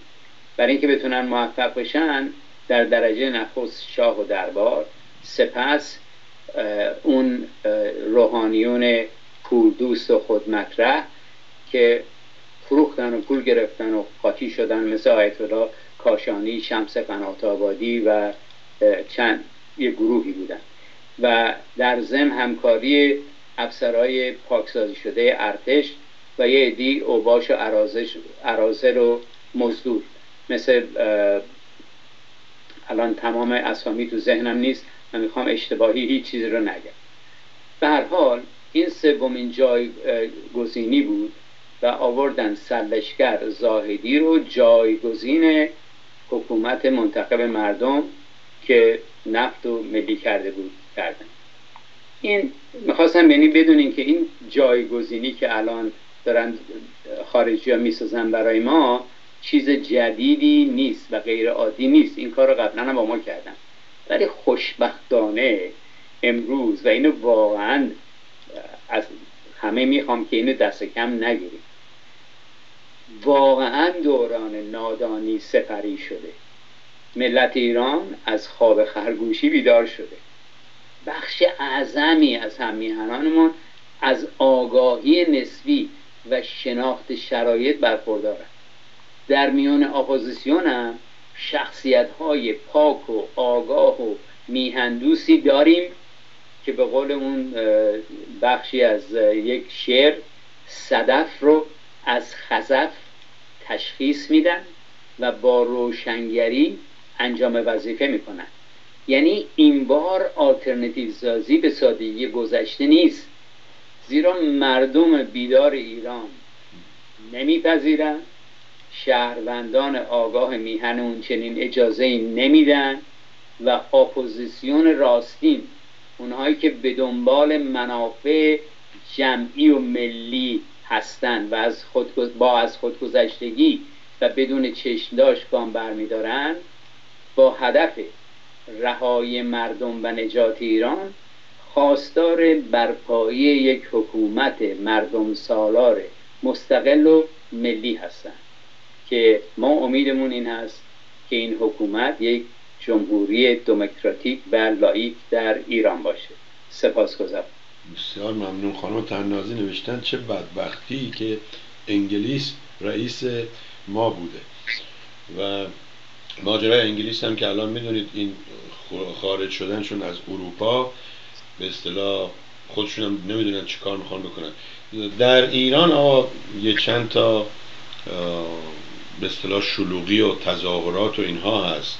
خود من بعض وقتا تفاوت آشوب و تظاهرات یکم برم مشکله کدومش رو باید بگیم تظاهرات کدومش رو باید بگیم آشوب. ولی نظر شما چیه؟ چون هر روز میگن که به اصطلاح حکومت ایران و این حکومت آخوندی اسلامی ریزش شروع شده و به اصطلاح به زودی خواهند رفت. شما چی می‌بینید؟ اوضاع و احوال ایران و خاورمیانه رو. حتما. ببینید اجازه بدین که این دو بخش بخش اولی که گفتین راجع به آشوب و تظاهرات در نظر داشته باشیم که یک گروه یعنی ملت ایران که در جاهای مختلف به پا میخیزن به هر دلیلی اولا دلایلی که به پا میخیزن متفاوته دیدشون متفاوته خواستشون متفاوته. پس بنابراین می‌تونه در یه جاهای آشوب باشه در یه جاهای تظاهرات. ولی در هر صورت درسته. در هر صورت مورد نیازه. یعنی شما در مقابل بیعدالتی و زوری که بهت میگن اچعافی که بهت می‌کنن بعد اکثر عمل نشون بدی. اگه ندی و مظلوم باشی و سرت بندازی پایین دیگه به نظر من تفاوتی با گوسفند نداری. پس اگر ما نمی‌خوایم گوسفند باشیم باید اکثر عمل نشون بدیم. هر کسی در حد تواناییش و شعورش. پس من با اون صد درصد موافق هستم. من به هیچ کس نمیگم بره تظاهرات بکنه یا آشوب بکنه. برای اینکه اون بعد من میشم اون داستانی که میگن سر گود وایساده میگه لنگش کن. من اگه اونجا بودم خودم این کار می‌کردم همینجوری که قبلا کردم و زندانش هم چند بار رفتم ولی برگردیم به این بخش دوم پرسشتون و اون اینکه آیا اینا در حال فروپاشی هستن یا نیستن؟ جوابش هر دوه و بستگی داره به این که ما چقدر اینها رو تضعیف کنیم چقدر اینها رو رسوا کنیم و چجوری زیرابشون رو بزنیم و چجوری هم میهنانمون رو بیدار و آگاه کنیم که در این راه گام بردارن. یعنی بستگی داره به خود ما. مثل همون داستان یه قالب صابونم لازم داره. آقای لادن اگه لطف کنید یا اون قسمت رو بخونید یا خودتون همینجوری توضیح بدید اون ماجرای دیو و دوز که چگونه اینها بعضی وقتا با هم همگام میشن و خیلی جالبه. شما اینا رو که می نویسید وقتی من می نویسم براتون شما میگید مثلا این مقاله رو من ده سال پیش نوشتم یازده سال پیش نوشتم. اینو. اگه لطف کنید به زبان خودتون توضیح بدید خیلی جالبه. بله حتما.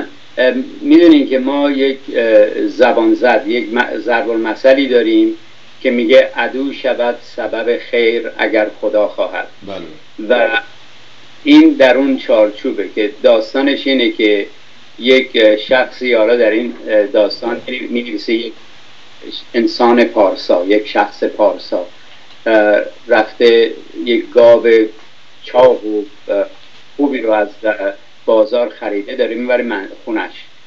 توی راه یک دزدی چشش می‌گیره و شروع می‌کنه اینو کردن. همینجور که داره میره یه مینه یه نفر داره شونه به شونه باهاش میاد.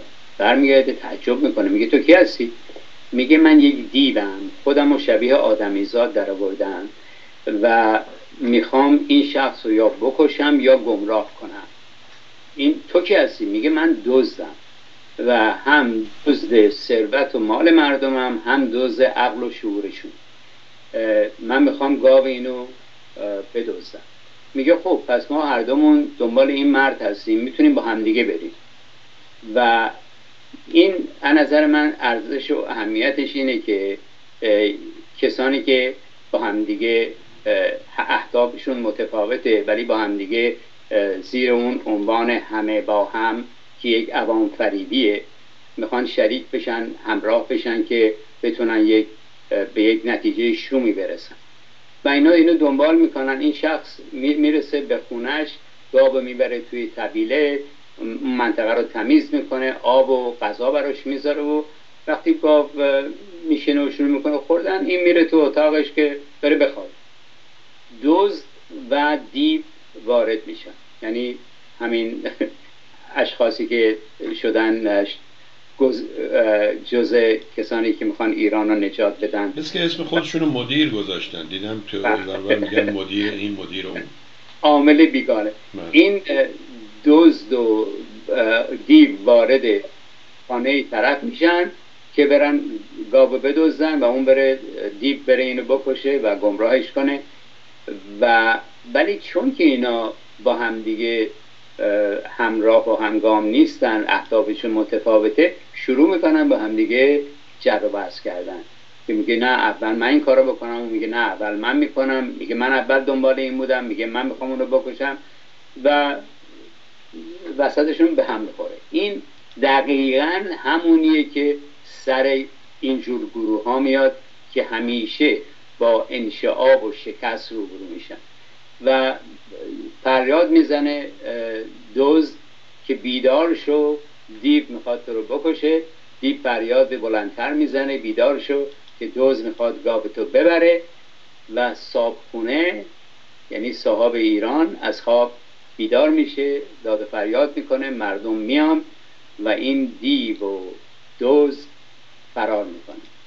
و میگه که داستان چیه تو منتظر اینا بودی؟ از صابخونه می‌پرسن. میگه نه. اشخاص اینطوری همیشه در پایان بر ضد همدیگه حرکت می‌کنن و اینجاست که میگن عدو شود سبب خیر اگر خدا خواهد. بسیار ممنونم. پس این ماجرای زیر چتر و اینها گاهی وقتا با هم زیر یه چتر میرن ولی دوامی نداره. دو تا نوشته در این مورد بود. اون روز که ما صحبت می‌کردیم یک آقای انصاری نوشته بود که این دولت گذار و اینها هیچ چیزی نیست به غیر از اون ماجرای چلبی و اینها دنبال پول هستن. بله. یکی دیگه هم آقای ارشدی اگه اشتباه نکنم ایشون نوشته بود که اینا که اسم خودشون هم گذاشتن گذار و به زودی این هم خواهد گذشت. من از شما ممنونم.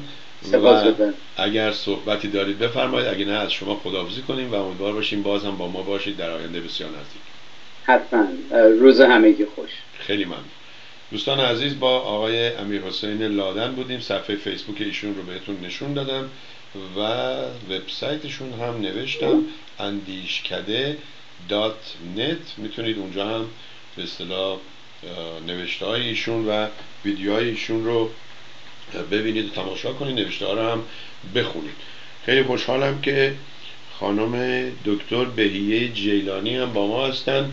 همینجا از ایشون دعوت می‌کنم یه روز هم خانم جیلانی در برنامه شرکت کنند و بگن به نظرش ایشون اوضاع و احوال ایران و آخوندا به کدام سمت و سو میره و چی شد؟ این ماجرای ترامپ هم که مردم دل بسته بودن خبری نشد و چه باید کرد؟ یه خبری رو آقای عزیزان روی صفحش نوشته. اجازه بدید من عکسش رو بذارم.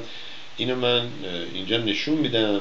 خیلی جالبه. بعضی از این آدمایی که میان از ایران بیرون و اینها من با این آقای اکبر لکستانی یا هر چی فامیلیش هست تماس گرفتم و گفتم که یه مسابقه داشته باشیم. و ایشون خب امروز فردا دیدید که چجوری نه نه میگن نه بله میگن. میگه که اکبر لکستانی بعد از ده سال اقامت در آمریکا بالاخره به مانند پناهنده های قلابی و ضعیف النفس دیگر چون کیانوش سنجری هوس خوردن قرم سبزی مادرش را کرد و با پاس ایرانی رفت ایران. البته قبل از رفتن به ایران چند فحش و بد و بیرا به رضا پهلوی و رجوی و و و, و غیره داد تا توانست در مد تا توانست در مد و ستای سرداران تروریست سپاه نوشت در مورد این آدم های یک بام و هزار هوا ایشون نوشته یک بام و هزار سودا بیشتر خواهم نوشت. کار هر برز نیست خرمن کوفتن گاو نر می‌خواهد و مرد کهن. خانم جیلانی هم دعوت ما رو پذیرفت.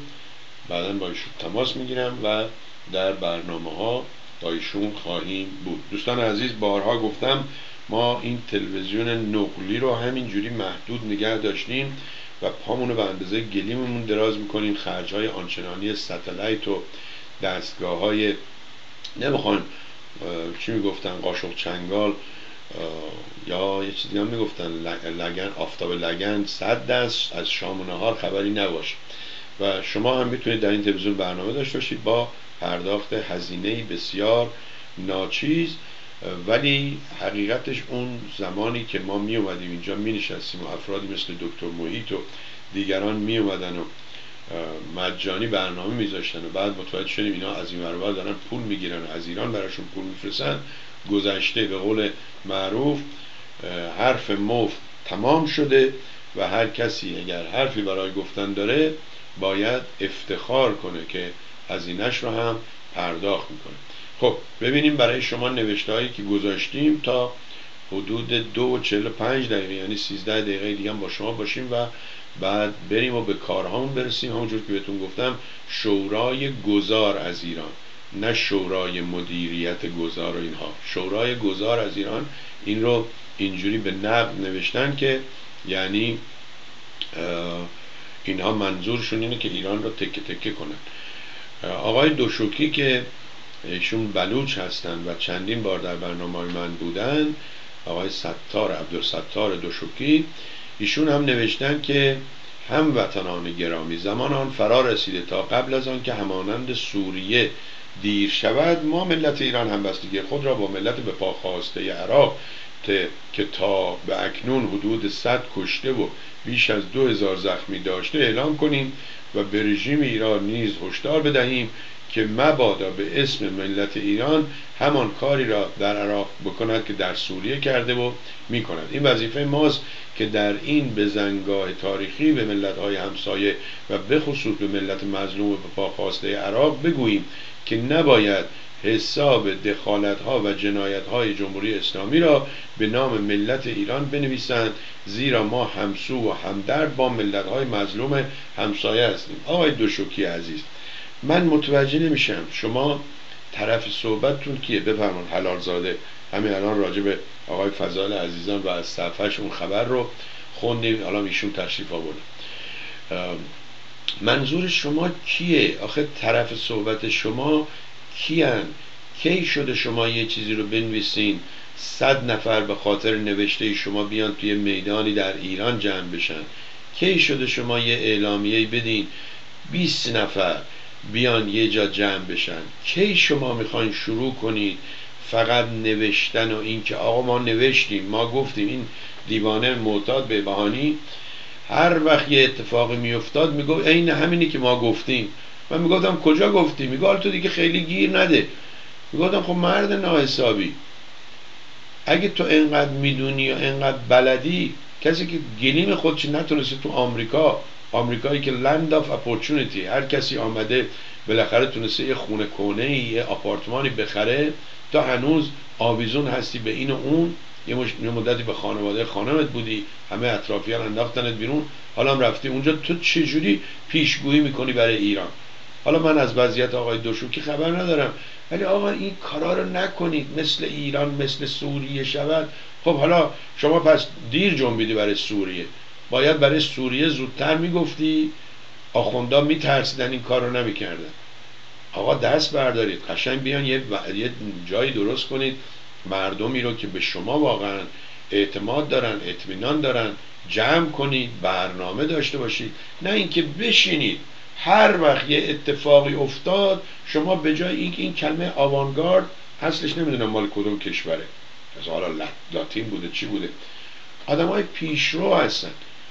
شما پس رو چی میشه؟ ریتارد ها مثل ماشین هایی که ریتارد هستن. البته اونام داشتیم ادوانس ان ریتارد یا پیش برق بود یا پس برق بود. حالا سکوی چیز کابوسی میگه که من نیستم تو شدی دکتر خوندم دیگه. آقای عزیزان از صفحه شما این عکس رو هم نشون دادم که اکبر لکستانی هم رفت ایران. و جالبه اینا وقتی میان مثل که می‌دونن با چه کسایی مصاحبه نکنن. من یکی دو بار باش تماس گرفتم. گفتم آقا این مثلا نوشته امروز یا این چیزا رو بیا در موردش صحبت کنیم. گفت حالا یه وقتی میان یکی این بود. یکی دیگه آقای به نام چی؟ داد. آقای داد. که گفتم آقای داد شما اسم داده ولی مثل که باید عوض کنیم به جای نداد. هر وقت ما میگیم وقت بده به ما نمیدی. در صورت اونو گفتم. فرانسوی است. بله. این آوانگارد. کلمه فرانسوی هست. خیلی ممنون. آقای زنم مرسی مرسی بکو. و این هم نوشته آقای دوشوکی بود. بعدم پیام همبستگی ملت ایران به ملت برادر. آقا شماها نماینده مردم ایران نیستید. شماها نماینده ملت ایران نیستید. شما بنویسید پیام آقای عبدالستار دوشوکی یکی از مردم ایران. به عنوان یک ایرانی. و اما دوباره افشای تصاویر محرمانه زنبازی و فساد اخلاقی بچه آخوند آیت الله رو زم پسرش روح الله زم.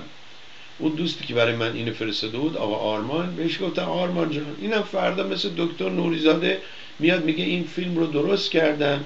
این فیلم چنان مگه همین نبود وقتی اون فیلم ها رو آوردن بیرون که حتی پشتر بیژن فرهودی چه بدیا گفته بود گفته بود که نه من چون می‌دونستم اینا معمور هستن اینجوری گفتم و اینها. وقتی این می‌تونه بیژن فرهودی رو مثل موم تو دست خودش له کنه به خاطر پولی که بهش هر هفته میده حالا این فیلم هم بیاد بیرون.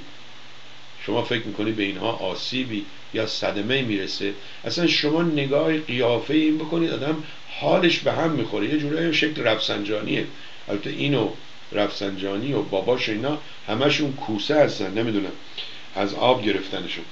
خب دوستان عزیز بذارید ببینیم دیگه چی نوشته بله افشای تصویر محرمانه زنبازی و فساد اخلاقی روح الله زم. و آهان اونی که بهتون گفتم گفته ترامپ خائنه.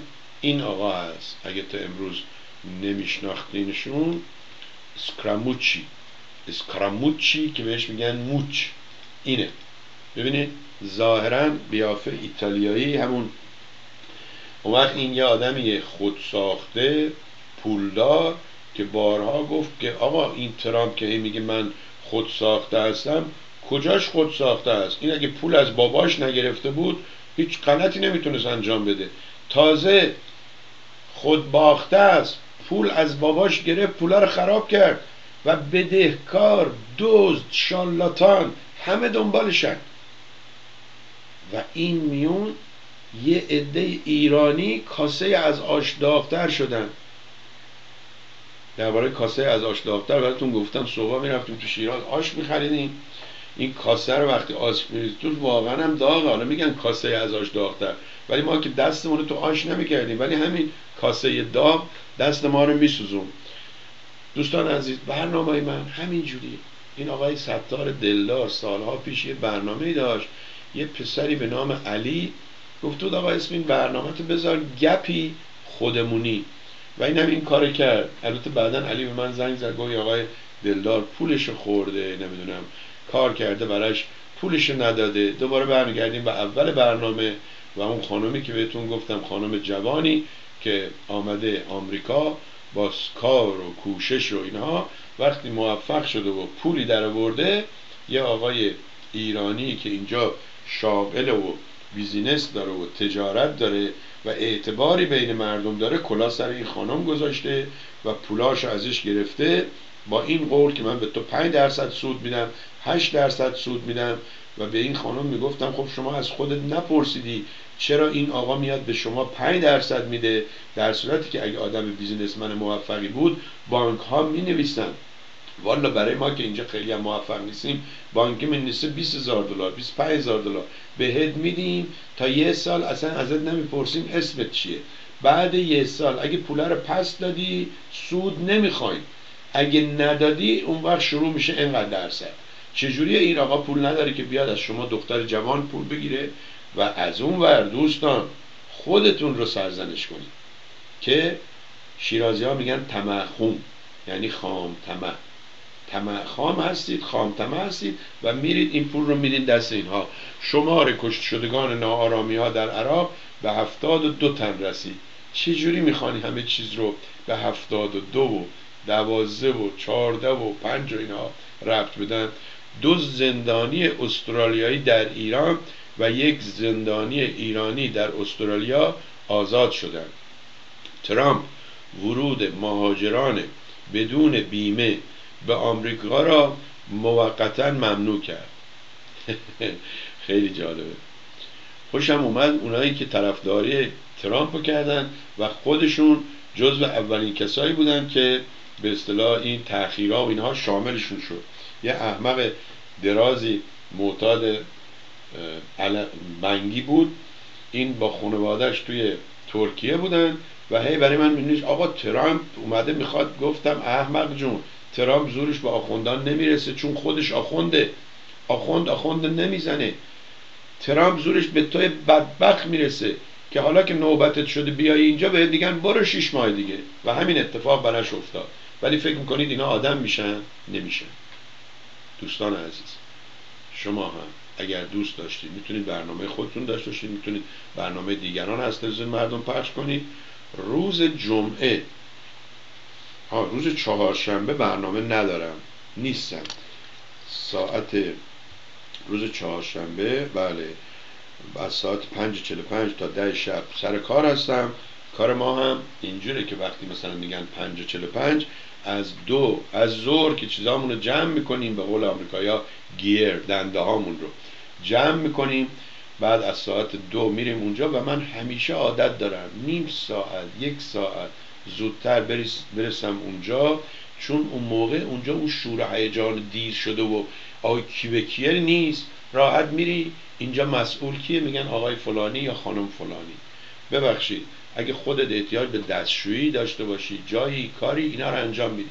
ولی اونایی که همیشه دیر میان کار دیگران رو هم خراب می‌کنن. من باورم اینه که کسی که به ما پول میده ما رو استخدام می‌کنه استخدام می‌کنه که اون مراسمش به زیبایی به سادگی.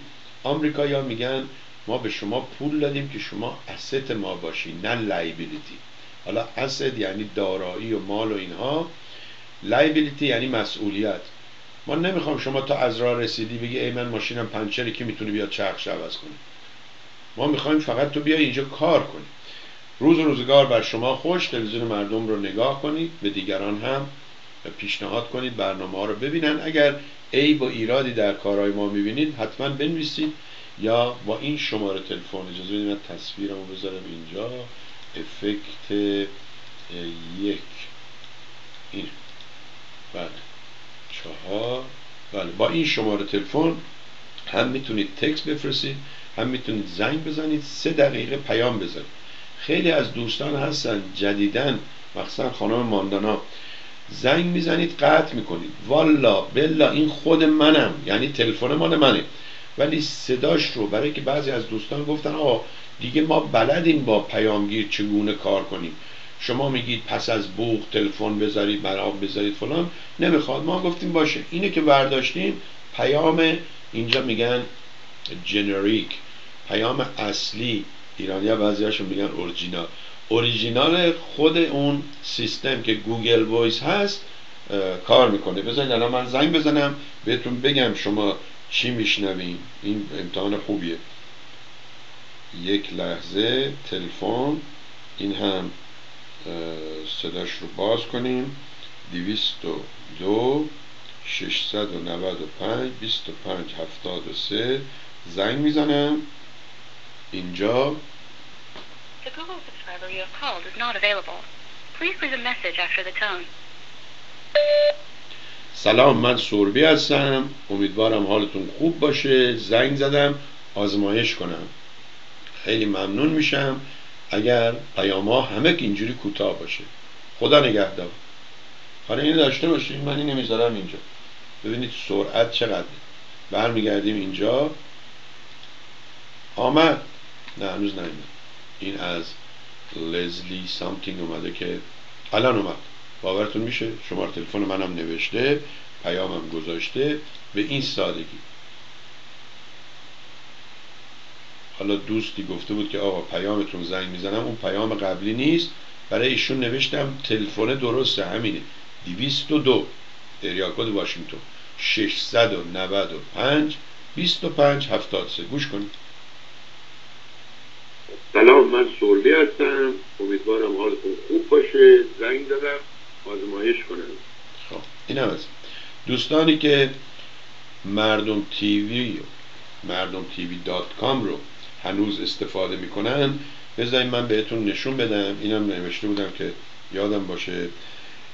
مردم تیوی چون می‌خواد خرجش کم باشه اون ماجرای security و فلان اینها را گفتیم بابا نمی‌خوان. چه security ما که دیگه از ارتش آمریکا نمی‌تونیم بالاتر باشیم. شنیدید؟ تو دو, دو سه روز دو هفته گذشته ایرانیا چیزای آمریکا رو به اصطلاح وبسایت های آمریکا رو هک کردن.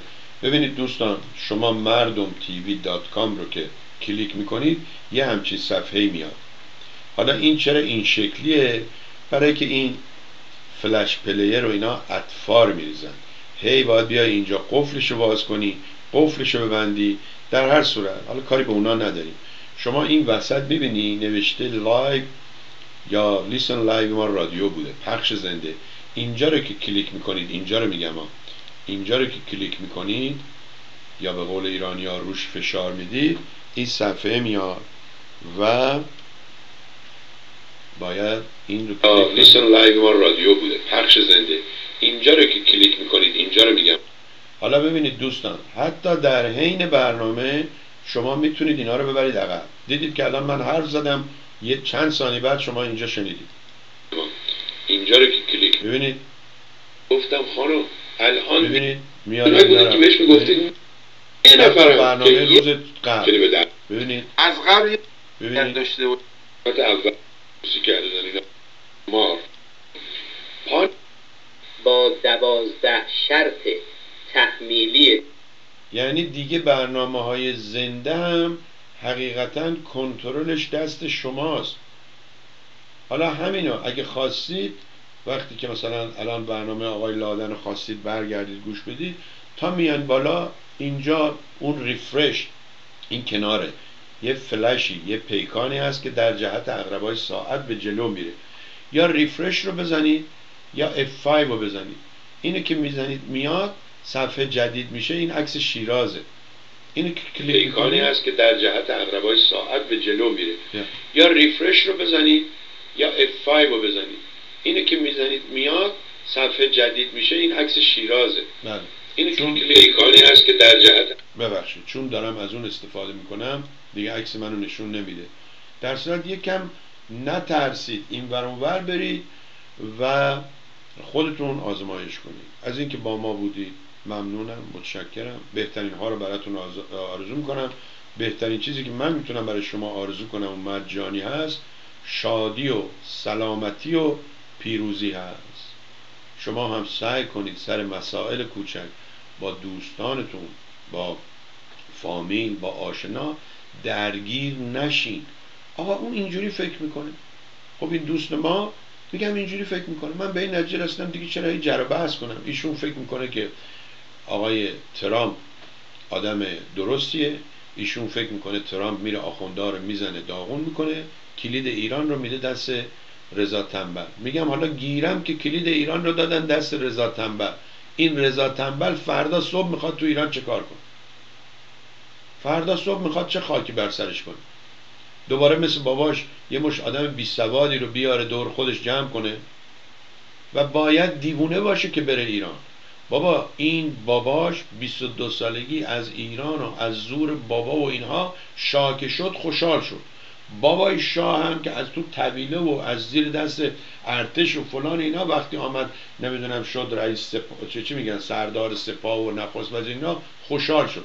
آقای رضا پهلوی باید خر باشه که از مریلند از پوتومک خونه به این قشنگی بلندش بره. کجا بره؟ کجا بره؟ بره کاخ مرمر. برید امروز کاخ مرمر فیلماش نگاه کنید ببینید چیه. بره کاخ گلستان. بره کجا؟ اینجا برای خودش داره تو کاخ زندگی می‌کنه. برید بابا برید دنبال کار زندگی. روز روزگار بر شما عزیزان خوش به امید فردای بهتر و آینده روشنتر. مرسی.